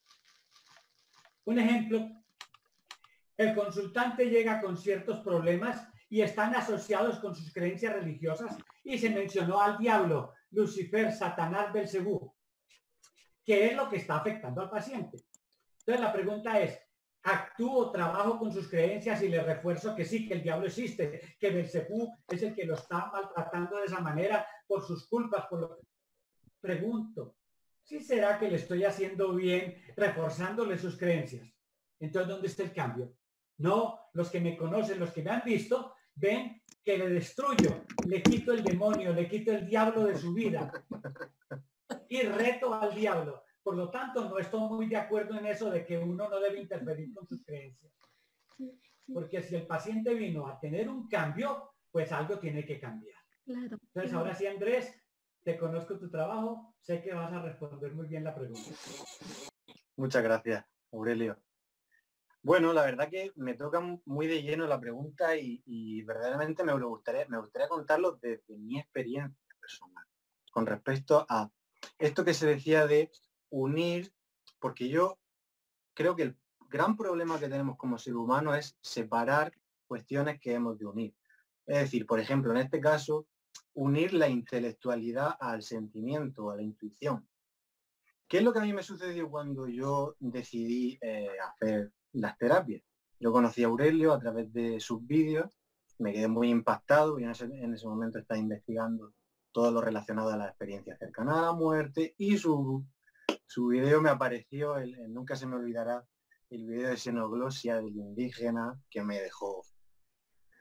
Entonces yo estuve durante un año entero viendo todos los días dos, tres, cuatro, cinco terapias suyas para así empaparme y aprender de una forma, digamos, intelectual lo que hasta ahora no conocía. Eso fue apoyado también a través de Luis Fernando, que también me ayudado mucho, también a través de mi propia investigación, pero fundamentalmente esa investigación. ¿Qué sucedió? Que yo en ese momento no lo tenía como algo que yo me debía de dedicar a ello. Yo estaba en, en una dualidad muy grande porque quería elegir una carrera universitaria y no me daba para eso, no, no, no veía que esa era mi vocación ni, ni ese era mi camino. ¿Qué sucedió?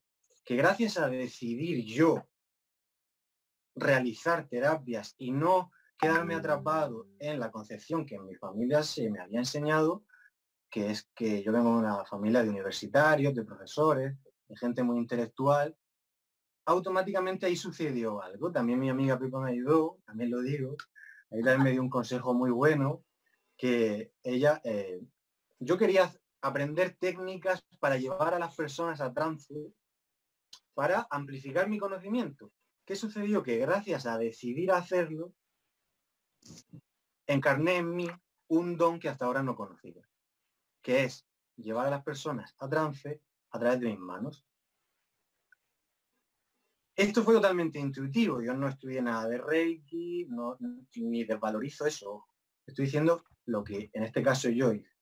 La efectividad fue total, no necesité de alguna forma seguir formándome en técnicas de hipnosis, sino sí aprender, continuar aprendiendo de las terapias claramente, pero el unir esas dos cosas, que es como ustedes dicen, el corazón y la intuición a la intelectualidad, o sea, esa unión de hemisferios, izquierdo y derecho, es la solución y verdaderamente el cambio. Así que bueno, ojalá les sirva mi respuesta y la verdad yo estoy muy contento de. De esto. Lo vi, lo vi hipnotizar o hipnotizamos juntos en Madrid, no recuerdo si en Sevilla, porque anduvimos caminando juntos por España, Andrés y yo, y como él dice, entraba en hipnosis a los pacientes sin hablarles, solo con las manos. gracias por, gracias por decirlo. Sí, sí, sí, sí. Muy buen sanador, eh, Andrés. Bien, Em, otra pregunta eh, de Blanca Ar. Dice, ¿las personas adictas a las drogas pueden rehabilitarse a través de una terapia de hipnosis? Sí. El maestro Luis Carlos Barboto nos puede ampliar la respuesta y después Juan Carlos Chávez. Adelante. Sí, se les puede ayudar muchísimo y es una de las partes que yo más trabajo. Eh, las adicciones todas están originadas desde un inicio por una emoción negativa que vivió la persona en algún instante de su vida. Entonces se les puede ayudar ayudando a que ellos encuentren en qué momento tuvieron que entrar a tomar licor, a fumarse un cigarrillo, cualquier cosa, y va uno a ver qué fue cuando estaba viviendo una angustia, un miedo, un temor, una rabia. Al calmar esa angustia o esa inicial, esa emoción negativa inicial, entonces ya la persona quita, elimina la parte eh, psicológica que lo está haciendo llevar a, la, las adicciones. Obviamente se necesita también ayudarle mm, eh, con los tratamientos que existen hoy en día para que desintoxique su cuerpo, sobre todo en los alcohólicos o en los drogadictos. Entonces se necesita eso, pero con la hipnosis se les ayuda a cortar esa parte que viene de, la parte psicológica, la parte emocional.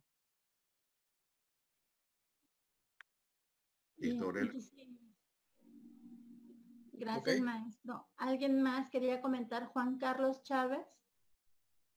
Sí, como dice el maestro Luis Carlos, desde, vamos al, punto emocional. Y aquí vamos a ver también, yo lo he tratado, eh, nos vamos al vientre materno, qué es lo que vivió la mamá cuando estaba embarazada. Debemos tener en cuenta que la información de ese futuro bebé la está obteniendo, pueden ser nueve meses antes de la concepción o seis meses antes de la concepción. Ese futuro bebé ya está recibiendo información por parte de la madre. Aunado a todo lo que la madre sufre, vive cuando está el bebé dentro del vientre, posteriormente también desde que nace hasta la edad de los 6, 7 años, todavía el hijo está somatizando los problemas de los padres. Entonces, es también hacer una regresión hacia vientre, vientre materno. Ver incluso cómo fue, cómo fue la concepción de este bebé, ver cómo estaba la madre, qué sentía, si no fue, sintió que haya sido violada por el padre. Esas regresiones son muy importantes. Muchísimas gracias, eh, Juan Carlos. Eh, esta pregunta mm, va directa para el maestro Aurelio y también eh, se puede, si alguien quiere contestarla. de parte de Maureji Cristian dice, a sus inicios el maestro Aurelio tuvo experiencias paranormales en la casa donde empezaba a practicar las terapias. ¿Alguno de ustedes ha experimentado algún tipo de experiencia paranormal? Entonces, este, yo creo que toma la pregunta Aurelio y de ahí, este, si alguien ha tenido alguna experiencia paranormal y quiere compartir la anécdota, eh, adelante. Bueno, entonces, en ese caso hay que hacer un resumen ultra rápido de cómo llegué. Las nociones de hipnosis las aprendí de un compañerito del bachillerato Liceo Antioqueño Universidad de Antioquia, yo tendría 13, 14 años. Era hipnosis de espectáculo, donde empecé por hacer hipnosis a mis primitos, a los vecinos de mis primos. Y una de esas primeras hipnosis, estaba yo entrando en hipnosis a alguien y me dicen, mire, estos que están aquí atrás mirando, uno también entró en hipnosis. Fue siguiendo las instrucciones que yo daba y entró. Y a partir de ahí me fui como emocionando con todas estas cosas. En la casa de mi mamá, que la compramos como, yo diría ganga en su momento, porque era una casa que llevaba un tiempo desocupada, nadie la rentaba, nadie la compraba. Pues para resumir, habían espantos allí. El vigilante de mi oficina que le dijimos, ponle cuidado a la casa que compramos para mi mamá, porque era al frente de las oficinas. Mientras la arreglamos, un día me dice, don Aurelio, en esa casa de su mamá espantan, se sienten cosas raras. No digas nada porque entonces mi mamá no se pasa a vivir ahí. Luego, cuando se pasó a vivir, ya fue Rocío, la empleada del servicio, la que un día dijo, don Aurelio, anoche sentí pisadas que bajaban por las escalas me espantaron. Ya después fue mi papá el que un día dijo, sentí que se quejaron de madrugada en mi oído. Yo sé que usted le pareció. Después fue mi mamá la que dijo que había un bulto en la puerta de la habitación. Después mi mamá murió ahí y mi papá siguió en esa casa solo, pero era al frente de la oficina. Ya habíamos movido las cosas del lugar, la habitación ya no estaba donde era, pusimos otro. Y yo empecé a hacer hipnosis en esa casa.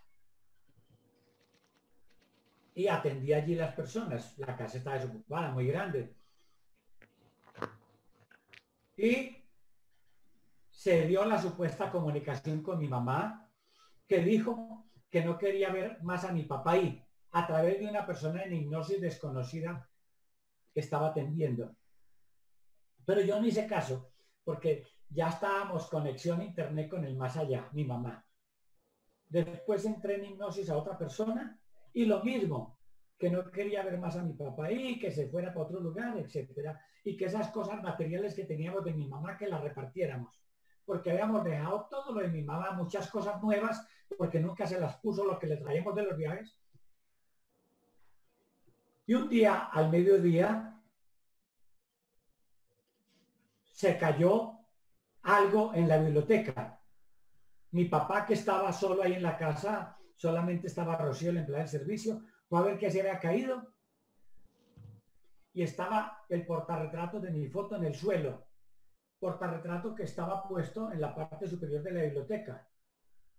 Y no se había roto el vidrio, la fotografía estaba a un lado y el marco al otro. Mi papá todo asustado, que esas sesiones que usted está haciendo aquí, espiritismo, que no quiero más, que todo asustado, los pelos de punta.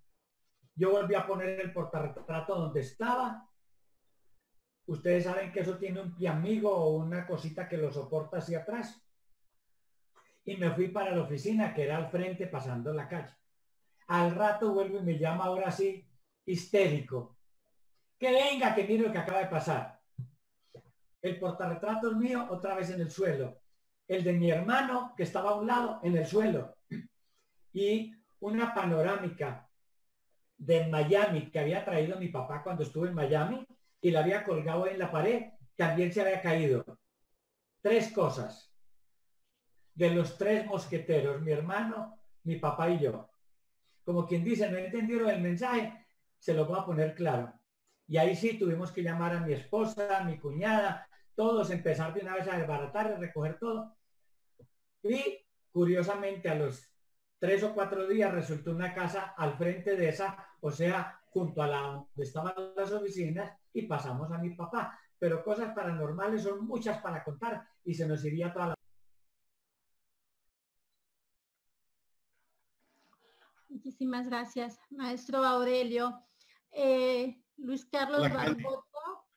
Aquí también Jania, también quería comentar algo. Me dice la chica que hizo la pregunta que lo que ella quiere saber es si después de la terapia que hacemos, que si se lleva uno alguna energía. También preguntan que si después de hacer una terapia, que los que han sentido que se llevan alguna energía de qué manera se pueden proteger de esto. Pregunta va para mí. Ah. Los espíritus no son chicles que se pegan a los zapatos, no son coronavirus. Los espíritus están con el sujeto consultantes por alguna razón, o por apego, o por rabia, o por curiosidad, o porque estaban perdidos. Pero no es que se le peguen a uno y entonces ahora se me pegaron cinco espíritus. ¿Qué hago? Me lavo con alcohol hago una fogata espiritual. No, nada de eso. Yo nunca he creído en esas tonterías. No se les van a pegar tranquilos. Hagan sus terapias, ayuden al otro, que ese espíritu que supuestamente está con el consultante no tiene nada que ver con usted. Adelante, Luis Carlos. Yo quería agregar entonces, y lo que empezó a hablar Aurelio es un tema que, como él mismo lo dijo, nos daría para hablar pero muchísimas horas, muchísimas horas. Y en eso sí he trabajado yo mucho, porque como los que estuvieron en el Congreso saben que yo empecé todo esto desde el año 88 eh, y en el año 90 empecé a tomar conciencia de todas esas presencias de seres espirituales y una canalización. Fue una canalización la que me enseñó a mí todas estas terapias tan bonitas que es todo a base del amor. Pero permanentemente hay personas que tienen esas dones que dice Aurelio que pueden ver, que pueden captar. Y nosotros tenemos en, eh, en nuestro trabajo una reunión mensual que la llamamos jocosamente la reunión de gente con dones. Y van alrededor de 60, 70 personas. Entonces el uno ve, el otro canaliza, el otro eh, puede hablar con las personas que ya trascendieron, eh, el otro ve las energías negativas, el otro, tantas cosas, tantas cosas. Y en mi oficina, que somos varios terapeutas, tenemos una oficina donde somos tres, cuatro personas que estamos trabajando. Yo tengo una niña que trabaja allí y es canal. Y ese canal, cuando yo necesito algo muy especial, ella va y me mira el paciente y me dice, tiene una posesión o tiene dos posesiones y la posesión me está diciendo que quiere salir o que no quiere salir. Entonces el fenómeno sí existe mucho. Y lo otro que dijo Aurelio es totalmente cierto. Esas energías no se me van a pegar a mí.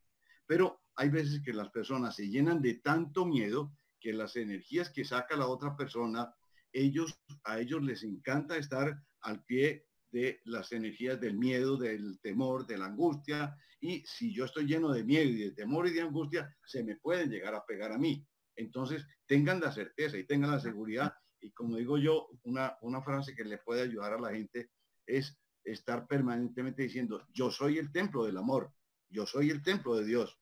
Entonces, lo digo desde el fondo del alma, sintiéndolo, no como con palabras. Entonces, si yo siento que en mí no está sino la energía positiva, eso me da seguridad y no se me pega ninguna energía, absolutamente ninguna. Muchísimas gracias, maestro Barboto. Jania.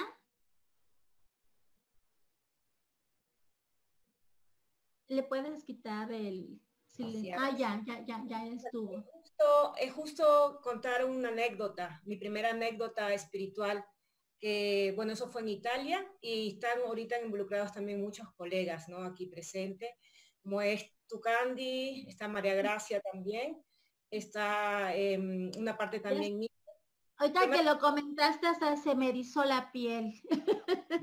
Eh, bueno, eh, eh, Aurelio vino a Italia a nuestra casa a hacer las terapias, ¿no? Yo en ese momento, bueno, cedí mi turno con Aurelio, lo cedí a otra persona porque había muchas personas que querían, eso fue al inicio cuando Aurelio comenzó a venir a Italia, ¿no? Ir a Italia.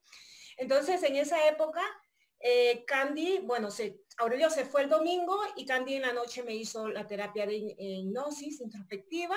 Tuvimos unas conexiones espirituales, pero en mi inconsciente yo siempre decía, y eso seguramente a muchas personas le debe pasar, yo decía, me estoy imaginando, yo creo que estoy aquí es cosa de mi cerebro, y me mandaban informaciones. Y dentro de esas informaciones estaban de que, porque yo no creía, o sea, yo prácticamente cuestionaba mi mente, cuestionaba mucho, decía, mira, para que tú lo puedas creer, mañana va a haber eh, un pequeño sismo a tal hora bueno, con Candy nos levantamos, terminamos la sesión, hubo mucha información allí.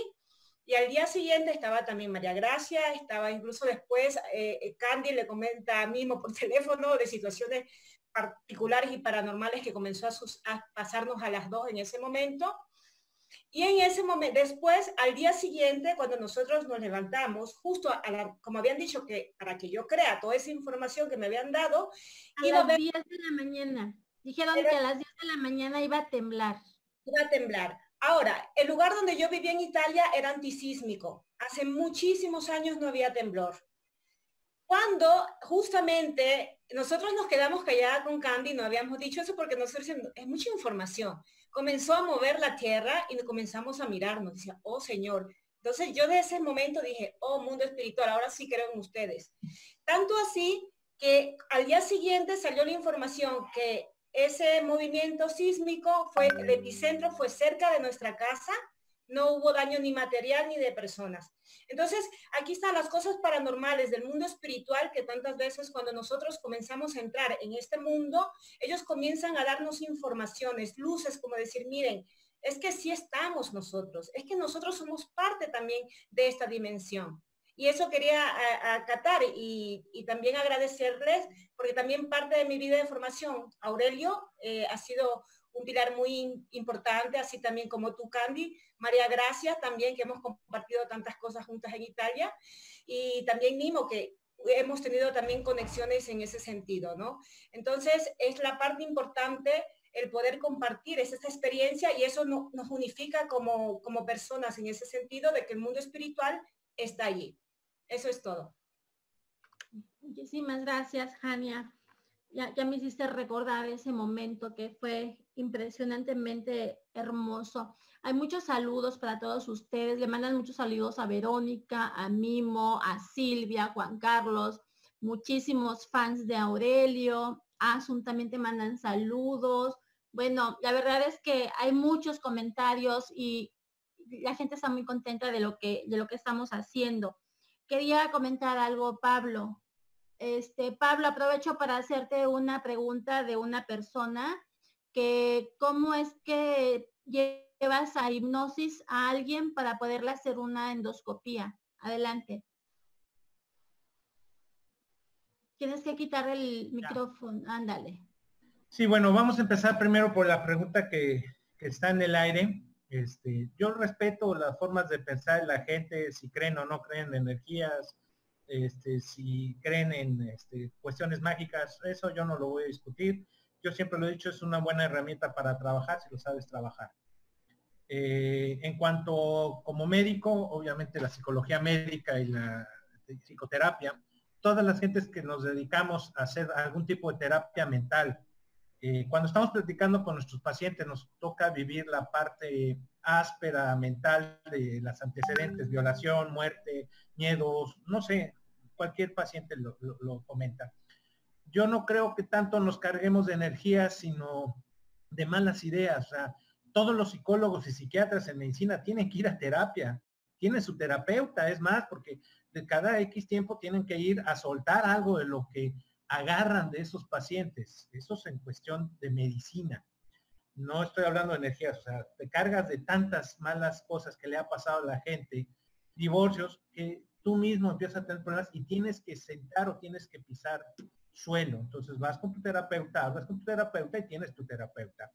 ¿Sí? En la maestría nos obligaban a tener X horas con los terapeutas y se cumplía, fueron creo que 40 horas de terapia, porque uno lo vive lo empieza a vivir. En cuanto a la medicina, bueno, ya lo dije que es parte del antecedente de medicina. Este, voy a, cómo empecé yo con, lo, con la hipnosis. Bueno, la hipnosis yo la primera vez que lo vi fue con mi hermano que tenía asma y en 1972 no había medicamentos para el asma, no había Montelucas, no había talbutamol, no había nada. Entonces yo me acuerdo que era despertarse a las 2, 3 de la mañana porque mi hermano estaba con su ataque de asma y mi papá y mi madre iban con él, lo sacaban de la cámara y lo cuidaban. Entonces después en unas vacaciones que estábamos en Tepozotlán, cerca de Cuernavaca, mi hermano tuvo una, una, una, una crisis de asma muy severa. Mi padre ya estaba desesperado, no sabía qué hacer, y lo llevó con un médico que hacía terapias de hipnosis. Y le hizo una técnica de pecera. Lo puso, dijo, ¿qué animales te gustan? Los peces tienes pecera así y en base a una pecera lo manejó y se le quitó la, el asma a mi hermano. Después de eso yo no me acuerdo de alguna crisis severa de mi hermano. Se acabó. En 1975 mi padre eh, amablemente, como cualquier hijo, nos mete a todos mis hermanos y a mí principalmente a hacer eh, cursos de terapia, de, auto, de, de hipnoterapia y principalmente autohipnosis, yo sí me acuerdo de, esos cursos, hasta toda la prepa. En la prepa mi papá manejaba bastante hipnosis, se puso a estudiar, consiguió muchos libros y, y, dos veces le pedí a mi papá que metiera en hipnosis para un partido de fútbol americano muy importante. Yo no sentí gran diferencia, que eso es lo más importante de la hipnosis. Muchas veces el paciente no siente la diferencia de la reprogramación o de la hipnosis, piensa que todo es normal. Pero ya años después, eh, pues yo seguí manejando hipnosis y autohipnosis en mí antes de operar y cuando a veces Candy tenía problemas o algún familiar tenía problemas, manejaba algo de hipnosis vía telefónica o directa. Pero lo tenía como una herramienta ahí perdida que sabía usarla. Sí, cuando eh, Candy empieza a manejar con, a, aprender las terapias con Aurelio, un día me reclama que por qué no le había dicho que yo sabía no Yo digo, pues sí, yo sé, pero nunca me has preguntado. Entonces, un día en una cirugía, una paciente alérgica a todo, no le había pegado el bloqueo y había que cerrar la herida abdominal, una herida abierta que era de 30 centímetros. Entonces le digo al anestesiólogo, ¿me apoyas? Voy a intentar algo que no he hecho en años, pero pues vamos a intentarlo, es lo único que podemos. Dije, sí. Se llamaba Enrique el anestesiólogo, la, paciente se llamaba Rocío, ya falleció. Y cerramos la herida con hipnosis, o sea, la metí en hipnosis a un bosque con sus hijos perdidos eh, y fui cerrando la herida y la señora feliz. A partir de eso empiezo a hacer hipnosis en los preoperatorios y veo que muchos de mis pacientes no usan analgésicos después de cirugía mayor. Y obviamente en la cirugía menor lo empiezo a usar y no uso anestesia. Pero en la cirugía mayor dejaba el analgésico por razón necesaria, pero el paciente no usaba analgésico. Y así fui, experimentando. Y un día en, en, las endoscopías, las endoscopías yo siempre las uso, eso uso benzodiazepinas, como ya platicamos, es meterlos a un sueño hipnótico. Entonces se me ocurrió hacer una terapia rápida, una técnica rápida, y manejar al paciente en un paisaje y pude hacer la endoscopia muy bien, sin ningún problema. Como protocolo siempre canalizo a los pacientes y como protocolo empecé a hacerlo en todos los pacientes. Tenga que usar benzodiazepinas o no, yo uso hipnosis, tanto en endoscopía alta, una gastroscopía o una colonoscopía, y he tenido resultados muy interesantes. La colonoscopía no se, no se niega. Esa se le pone la, la hipnosis y le pongo su dosis de benzodiazepinas, ya sea diazepam o midazolam. Entonces, pero en esas he encontrado mucho menos dificultad técnica, como que los ángulos del colon se relajan, tal vez esa apreciación. Y en la endoscopía alta, a todos les hago endoscopía, a todos les hago eh, hipnosis, pero no a todos les pongo benzodiazepinas. Aproximadamente he visto que un 80% de los pacientes no necesitan medicamento. Algunos ya han visto mis videos cuando despierta el paciente, despierta maravillado diciendo yo estaba en el mar o yo estaba en tal lugar o yo estaba este, en un bosque rodeado de animales con mis hijos jugando y ¿qué hago aquí? Hago la endoscopía sin ningún problema. Un 10%, un 20% de los pacientes pueden requerir benzodiazepinas. Se le pone. Pero a veces nada más necesito poner una dosis mínima mínima, muy pequeña, digamos que es el empujoncito para que entren al plano hipnótico y lo puedo manejar muy bien.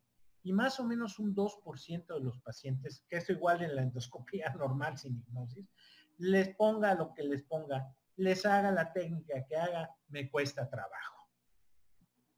Entonces son las estadísticas que he ido llevando. Los resultados son muy, muy, muy interesantes, muy, muy padres. ¿sí? Hay pacientes que despiertan y aprovecho siempre y los reprogramo, ¿sí? Y cuando encuentro que tienen un problema muy serio, porque a veces sale el problema, les doy su terapia, todo por, por el mismo precio, ¿no? Les hago la endoscopía y salen con una terapia gratis y salen muy, muy contentos, cerrando muchos círculos, cerrando muchos problemas. Es parte de las técnicas que estoy usando. Este, no sé si así respondí parte de la pregunta, Candy. No te escucho. Bueno, está creo que ocupada, Candy, porque no te escuchamos. Tenés silenciado el micrófono, Candy. Está apagado. Bueno, este es muy importante eh, eh, recordar esto de la medicina. Sí, eh, Listo. Muchísimas gracias, Pablo. Vamos a la siguiente pregunta. Y nada más recordarles este, que cuando pidan la voz seamos respetuosos con los tiempos porque a veces con tanta explicación se pierde realmente el objetivo de la pregunta y la gente aquí dice que ya cuando hablamos mucho ya se le pierde el hilo. Entonces nada más concentrémonos en lo que nos preguntan y demos respuestas concisas. La siguiente pregunta de Mari Guerrero Terrazas dice que por qué una, una energía de frecuencia baja puede lograr canalizar a través de una energía que vibra alto, que a ella se le hace un poquito complejo poder entender esto porque se supone que las frecuencias este, altas no dan lugar a las frecuencias bajas. ¿Alguien lo quiere contestar? Maestro Luis Carlos Barboto, adelante. Mira, las energías que los seres de luz que están canalizando, las verdaderas canalizaciones, son, son escogencias que uno tiene desde el momento de nacer. Yo voy a canalizar y voy a eh, servir que mi cuerpo sirva de canal para que esa energía de luz se exprese. Entonces, no podamos o no pretendamos que las personas que sean canales sean perfectas, de una vibración perfecta. Pero cuando yo estoy trabajando con esas personas que son canales, lo que yo hago siempre es hacer lo que yo llamo una limpieza de canal. Y la limpieza de canal es ayudarle al crecimiento espiritual de esa persona para que ese ser de luz pueda expresarse verdaderamente. Es, es limpiar, es como si yo pretendiera que a través de un pitillo donde yo acabo de tomar Coca-Cola me salga agua pura. No, yo tengo que limpiar ese pitillo por dentro y eso es el canal. Entonces, si el canal no tiene una evolución espiritual muy alta, puede llegar a, a, canalizar un ser de luz.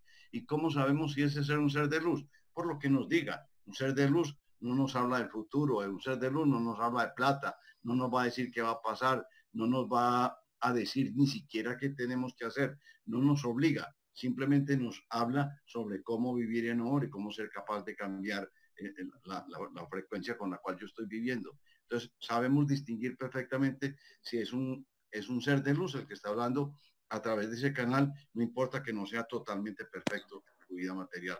De todas maneras, no hay ningún ser perfecto en la vida material. Muchísimas gracias, maestro Barboto. Yo creo que esta pregunta va directamente para Calo. No sé si Calo nos está escuchando. Eh, Freddy Alejandro Ateortúa Cardona comenta, Todavía no han comentado nada sobre los temas de extraterrestres. Estamos intervenidos a nivel holográfico a través de la mente. Un ejemplo son los bancos centrales, el papel moneda, la conceptualización del Estado y todos estos son bloqueadores de luz. ¿Qué pueden comentar al respecto? Calojero. Calojero, ya se me durmió. Pero aquí hay gente de su equipo. Aquí está Freddy, está Maya, está Iracema. A ver, Iracema ya levantó la mano. Y no sé, Freddy, si quieres después eh, comentar algo. Sí, ok. Entonces, Iracema y, y Freddy. Ok, estamos hablando de los bloqueadores externos, claro. Para mm, los conspiranoicos que al final de cuentas luego están hablando de la Matrix, de todo esto, el mundo es dual, ¿no? Y vamos a, aclararlo desde esta perspectiva. Nosotros en nuestro trabajo, claro, estamos eh, trabajando con estos seres que de alguna manera están llegando a interferir con nosotros por la frecuencia. Como decía Luis Carlos, Luis Carlos Barboto, bueno, eh, nosotros nos manejamos entendiendo esas interferencias así desde el punto de vista energético, ¿verdad? Entonces nos manejamos en rangos frecuenciales que al final de cuentas cada dimensión, pudiéramos decirlo así, maneja un rango frecuencial en el que vamos evolucionando, vamos pasando, vamos transitando, como cada quien lo quiera em, decir. ¿Qué pasa? Nosotros como seres humanos pertenecemos a un rango. Estos seres eh, de luz, de no luz, de como cada quien los quiera llamar, pertenecen a un rango frecuencial que por lo general el rango del ser humano es amplísimo, pero generalmente nosotros mismos nos estamos como limitando, nos estamos eh, poniendo ante nosotros mismos como seres limitados. Y entonces, ¿qué pasa? Que para nosotros el, pertenecer a, un, a una sección de frecuencia en la que nosotros oscilamos, nosotros conectamos con seres que tienen este rango de frecuencia puede ser mucho más alto mucho más este, bajo, pero dentro de un mismo rango en el cual pertenecemos. Entonces es por eso que podemos conectar con esta facilidad con seres que nosotros vemos luminosos o con nosotros vemos eh, obscuros, pudiéramos decirlo, pero no existe tal obscuridad o tal obscuridad, sino es que nosotros nos estamos moviendo, nuestra luz en estos precisos rangos frecuenciales y lo que vamos a, mm, tocando es lo que vamos este, llegando hasta ahí. ¿Qué pasa? Al nosotros tocar esos rangos, accedemos a cierta información que está en el éter. Nuestra Tierra, al final de cuentas, es un centro de información. Es como una biblioteca que toda la energía eh, que está o pertenece a la Tierra guarda la información desde su formación hasta el día de hoy. Entonces, nosotros, al final de cuentas, accedemos a todo lo que está ahí y al, final, estas creaciones que hemos hecho nosotros y estas co-creaciones que hemos hecho, tanto con estas energías como con nuestras propias creencias, es, es una combinación más complicada muchas veces de lo que nosotros creemos. ¿No? Porque entra la, la, creación desde la humanidad, desde el principio, con las religiones, con las formas, con las, por ejemplo, las culturas, ¿no? Que, que, si, que si los egipcios, que si los mayas, todo eso va formando un contexto que está dentro de nosotros de, lo que es la Tierra. Toda la información está ahí. No es que exista información eh, de gente o de, de, seres oscuros y de seres luminosos. Toda la información está ahí. ¿A qué accedes? A lo que tú en capacidad tienes la, la el privilegio de entender y de analizar. Con el paso de los tiempos, poco a poco vas a ir em, accediendo a mayor información y todo esto es como si se va develando em, velos, van cayendo velos porque vas entendiendo más cosas. Entonces, es lo que te podemos decir nosotros, como trabajamos, es así, tratando de que cada uno vaya entendiendo cómo esta información al final de cuentas nos aporta siempre. Cualquier información, creamos que es negativa o positiva, siempre nos aporta a nosotros como seres humanos y lo tenemos que ver así, ¿no?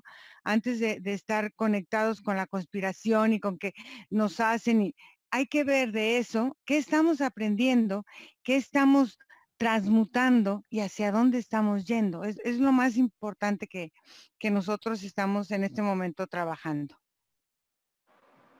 Muchísimas gracias. Eh, ¿Tiene el uso de la voz Freddy? Hola, muy buenas tardes. ¿Me escuchan? Sí, ok, perfecto. Bueno, buenas tardes para todos. Los saludo.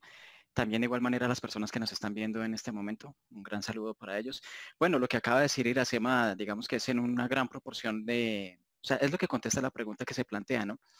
Ya con base, eh, podría complementar que con base al papel moneda y, y todo lo que se, eh, este aspecto en el cual se encasilla a las personas como ver que es como un dominio monetario desde el aspecto de un sistema de control, que tal vez es como interpreto lo que plantea. Es algo que estamos viviendo acá y que es inevitable, o sea, este es un sistema en el cual nosotros tenemos que tener adaptabilidad. Como bien decía Iracema, yo puedo utilizar esto como un recurso de aprendizaje o lo puedo utilizar como algo que va a ser eh, contraproducente para mí, ir en resistencia a. Entonces todo depende como molde la energía a nivel individual, la percepción que tengo del momento y qué puedo sacar de provecho para mí, para mi propia experiencia en este punto. ¿no? El dinero es inevitable, todos digamos que estamos en un sistema económico en mayor o menor proporción, nos afecta y por lo cual tenemos que aprender a manejar esa energía y qué mejor que utilizarlo como recurso de aprendizaje, más no como algo que ofrece resistencia, solamente eso. Bien. Muchísimas gracias, Freddy. Eh, Janet Guevara, cuando finaliza la hipnosis con el paciente, ¿cuándo finaliza la hipnosis con el paciente? ¿Y qué pasa si los síntomas persisten luego? Esto ya nos ha pasado en alguna ocasión, a ver, este, no sé quién quiera contestarla, que de repente, este, cuando nos ha tocado hacer ahí alguna terapia y esta persona tenía alguna obsesión, que se va de la terapia de hipnosis y sí ha reportado que ha sentido algunas cosas extrañas, como que tiene un sentimiento de ausencia, como que algo le falta. Me imagino que se refiere a esto. ¿Qué pasa? ¿Cuándo termina la hipnosis? Y, este, ¿Y qué pasa si los síntomas persisten luego? ¿Quién la quiere contestar? El maestro Luis Carlos Barboto, después Mimo y Pepa. Adelante, Luis Carlos. Mira, eh, es importante entender que el paciente llega y va con un plan de vida.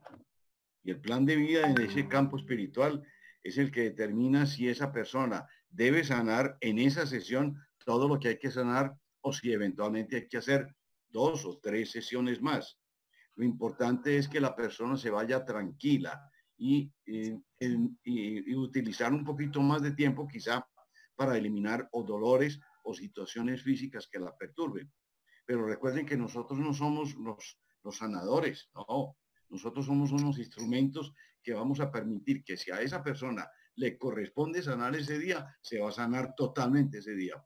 Pero si no le corresponde, o necesita una o dos más, o necesita otra vida, o puede necesitar muchas otras experiencias. Entonces, es, es, es verlo con humildad. Nosotros no vamos allá a hacer, yo soy el sanador y yo lo voy a limpiar y yo, y yo le hago, no, no, no, yo hago toda mi terapia con todo el amor. Si la persona no sanó totalmente es porque no le corresponde y hay que esperar un tiempo o esperar muchos meses o quizá años. Muchísimas gracias, maestro. Le vamos a dar el uso de la voz a Mimo y quiero saludar a María Gracia porque casi no ha hablado, pero ojalá ahorita nos comente algo porque ella también tiene ya mucha experiencia con el tema de, hipnosis. Vamos a darle el uso de la voz a Mimo y después a Pepa. Sí, hay que escuchar a María Gracia. Ella Calladita. sabe mucho de eso. Bueno, ¿qué más decir? En realidad la, base de, todo es lo que acaba de decir Luis Carlos Barboto de plano. Eh, yo añadiría algo más, eh, pero después de lo que él dice, en realidad.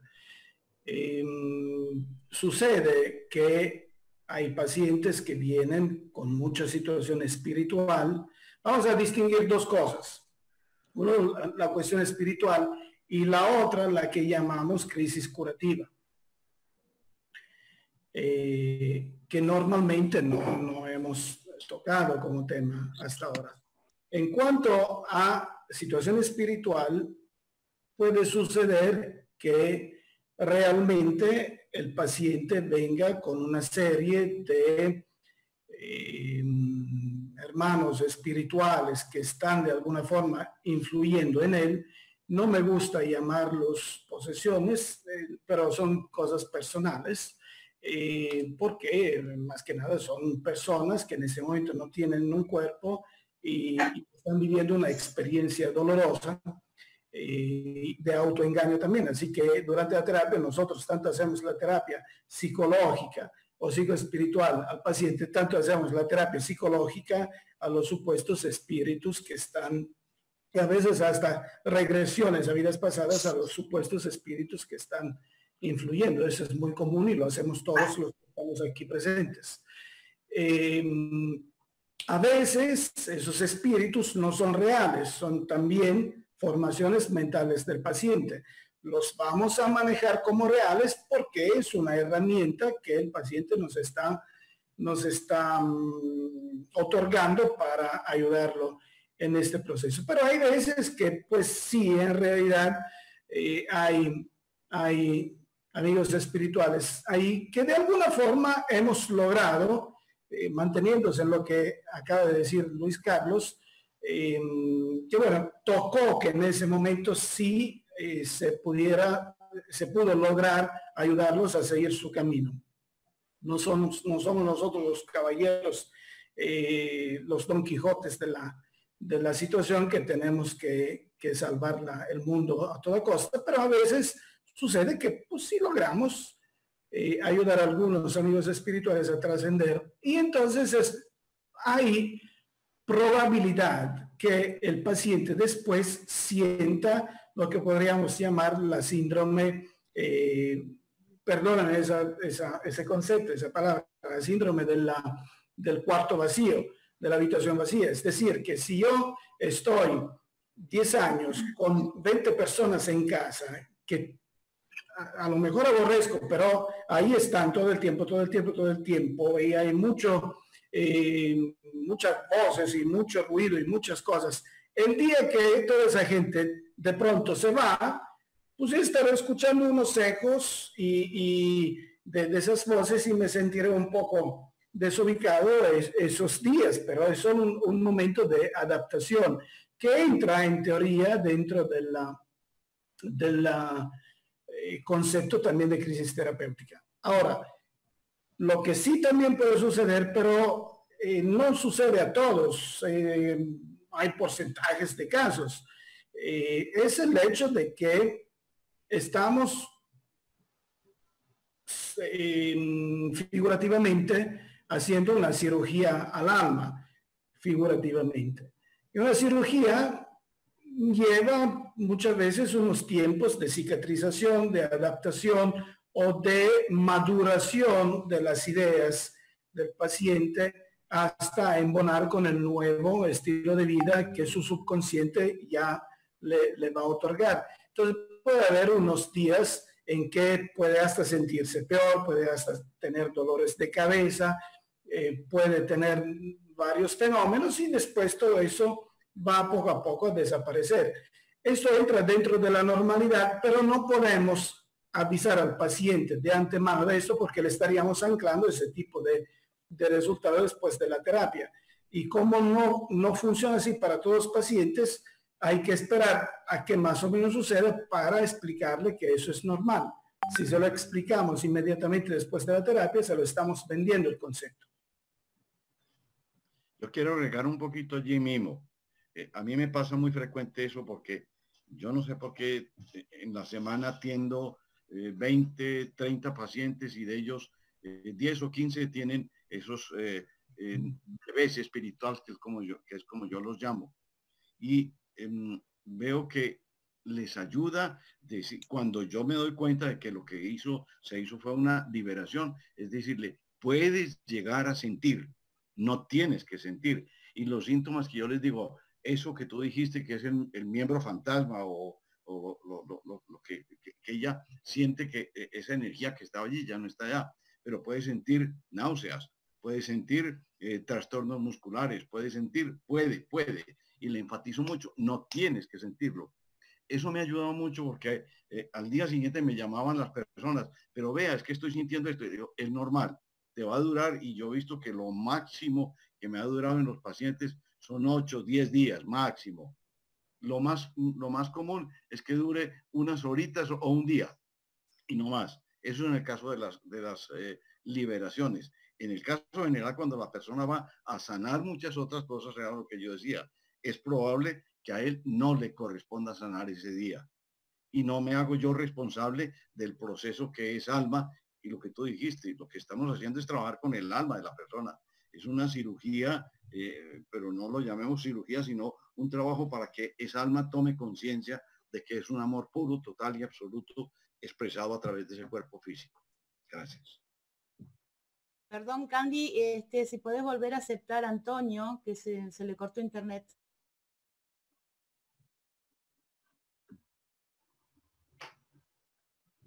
Creo que también al maestro Aurelio, Candy, por favor. Sí, también Aurelio quiere añadir, quiere añadir algo. Y Pablo. A ver, también. puedo ocupar tantito. Este, hay una cosa muy importante. En cierta razón, eh, bueno, no, no puedo discutir mucho lo que dice Baroto, es cierto. El poco a poco se va tomando los lugares. ¿Cuál es el, el clásico signo de la hipnosis? Un remolino. Entonces empieza de chiquito y empieza a agrandar, agrandar, agrandar, agrandar, se empieza a colocar o a ver cambios poco a poco, sí es cierto. Puedes sentir, puedes. También puedes decir, vas a sentir eso, también puedes programar que el paciente tenga cambios directos. Eso es bien importante. Entonces, recordemos, el signo de la hipnosis es un remolino que empieza de chiquito y crece. Igual los cambios pueden empezar en chiquito y presentarse un mes o dos meses o tres meses después. No tiene que ser en ese momento. Hay una cosa muy importante, vamos a definir el paciente y cliente. Cuando yo estaba en la maestría, mis compañeros psicólogos clínicos, humanistas, me decían, son mis clientes. Entonces, cliente, pacientes para médicos y odontólogos, clientes para psicólogos y terapeutas. Definamos porque eso es bien, bien, bien importante. Algunos no estarán de acuerdo, pero es así. Algunos estudiamos carreras, otros no. Entonces vamos definiendo clientes puede ser para todos y pacientes exclusivamente para médicos y odontólogos. ¿Por qué? Es así la definición. No, no podemos estar jugando con estas palabras porque ya estamos jugando con nuestros pacientes. Muchas veces los pacientes van esperanzados a algo y, sea, y, no es lo que esperaban. Entonces tenemos que ser claros con nuestros pacientes. Me da gusto saludarte, María Gracia. No te había visto. Sí, gracias.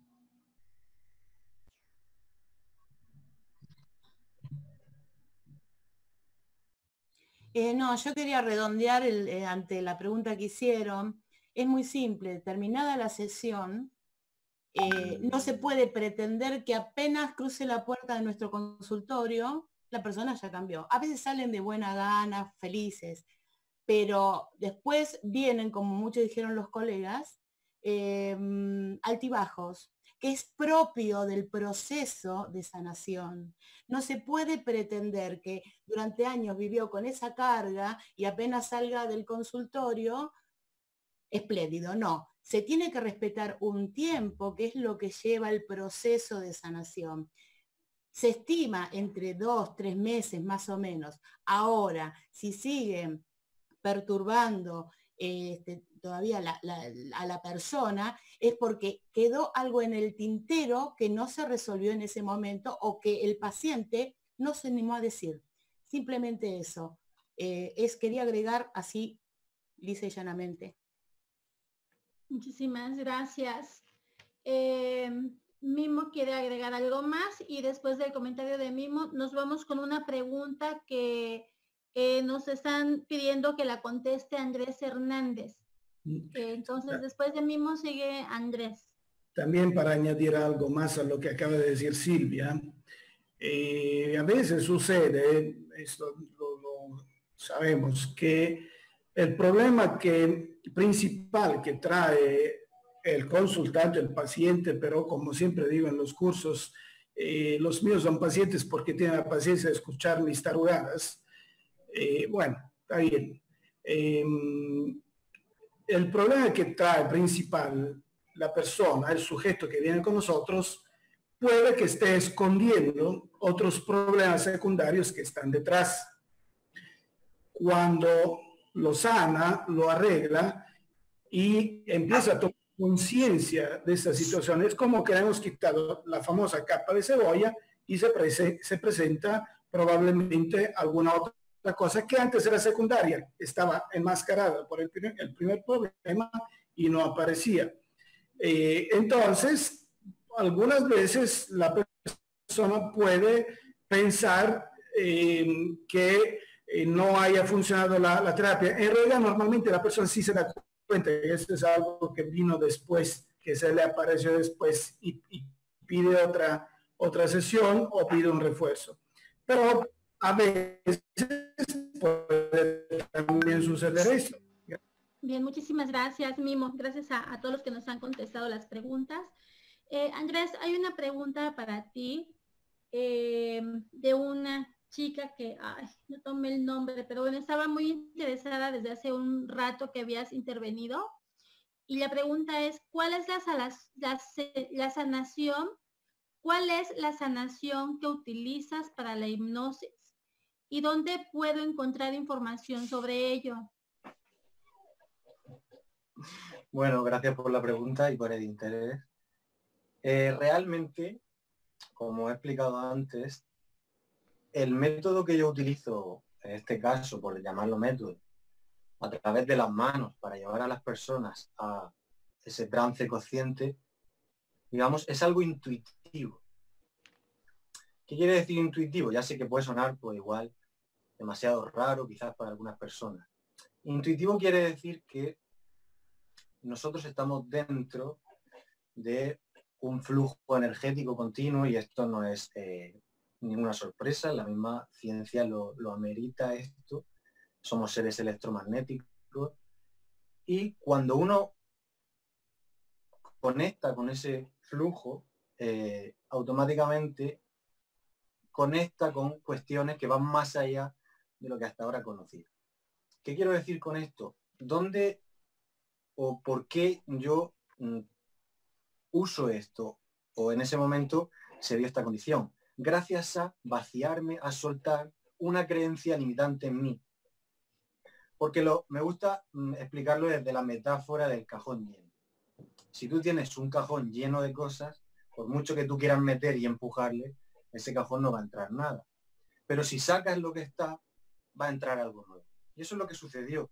Gracias a que yo tenía una creencia limitante que me hacía pensar que solo con la investigación y el estudio iba a conseguir lo que quería, al dar el paso y decidir salir de, no porque no haya que usarlo, o sea, me parece, de hecho me parece estupendo que hayan eh, personas como los doctores que hay aquí, personas universitarias titulados, que sean tan valientes, sobre todo en estos tiempos, de eh, mostrar esto que no es nada fácil y que está muy vetado, como vemos hoy en día. Pero la cuestión es que si yo me vacío de esa creencia limitante que hay en mí, automáticamente entra eso nuevo. Por lo tanto, quizás siempre comprendemos que debemos aprender las cosas. Por ejemplo, en mi caso, en, esto que estoy hablando de las manos, podríamos entender que yo necesito hacer ciertas maestrías de Reiki, por ejemplo, para llegar a eso. Y puede ser que sea así o no. En mi caso no lo es. Y lo digo de veras con toda la humildad del mundo. Eh, mis manos, lo que hago con mis manos muchas veces es más efectivo que gente que tiene un montón de maestrías de Reiki. Esto es porque yo soy especial, ojo, no. Quede dicho. Esto es por el cambio que uno hace y por la valentía precisamente de hacer ese cambio. Eh, creo que es lo mejor que puedo responder. Muchísimas gracias, Andrés. Quiero opinar algo con Andrés. Andrés, Quiero opinar algo con Andrés. Sí, adelante. Eh, Andrés, la humildad también es reconocer la grandeza que hay dentro de ti. Eres un ser humilde, eres un ser que tienes un don. Se te ve en la mirada, se te ve en el aura. Déjalo fluir y no tengas temor de decir, sí, tengo este don y lo voy a usar en beneficio de los demás. Gracias. Muchísimas gracias, maestro Luis Carlos. Y tú comentaste algo muy, muy importante, Andrés, que es vaciarnos de cualquier tema en la cabeza. Yo creo que a ningún terapeuta le hace bien el tema del ego. Y cuando dejamos dominarnos por el ego, no podemos dar una buena terapia porque no tenemos realmente esa humildad que es muy necesaria para poder generar empatía con todos los demás. Eh, consultante, paciente, cliente, al final del día todos entendemos que es una persona que tiene una necesidad de sanación y que acude con nosotros con una esperanza de poder estar bien, de poder gozar de bienestar emocional, espiritual, mental, muchas veces hasta físico, porque no hay que olvidar que muchas dolencias físicas provienen precisamente de estados emocionales alterados, ¿no? Entonces, este, yo quedo con esto. Muchísimas gracias, Andrés. Em, voy a la siguiente pregunta. Bueno, antes que nada, hay una chica, Natalia, que está muy inquieta haciendo preguntas a todo el mundo, que cómo es posible llegar a ser una eh, terapeuta certificada por el maestro Aurelio, que ella ya tomó un curso, pero que sí tiene que tomar un curso especial para poder ser reconocida como terapeuta. Otra pregunta que han hecho mucho maestro Aurelio es que cómo pueden ser agregados a la lista de terapeutas certificados por el maestro Aurelio Mejía puesto que en su página web hay una lista de países y una lista de nombres con datos de los terapeutas. Entonces están preguntando que cómo las personas pueden ingresar a esa lista. Este, bueno, pues esto es lo que pregunta Natalia. Bueno, esa respuesta la tienes tú porque la hablamos cuando comenzamos, porque tú eres de las pioneras. También la tiene Doménico y se expresa mejor. Kenny, perdona, está Antonio, está Antonio que quiere entrar, está en la, en la habitación de espera, si lo metes dentro. Gracias. Gracias. Perdona, Aurelio, perdóname, perdóname.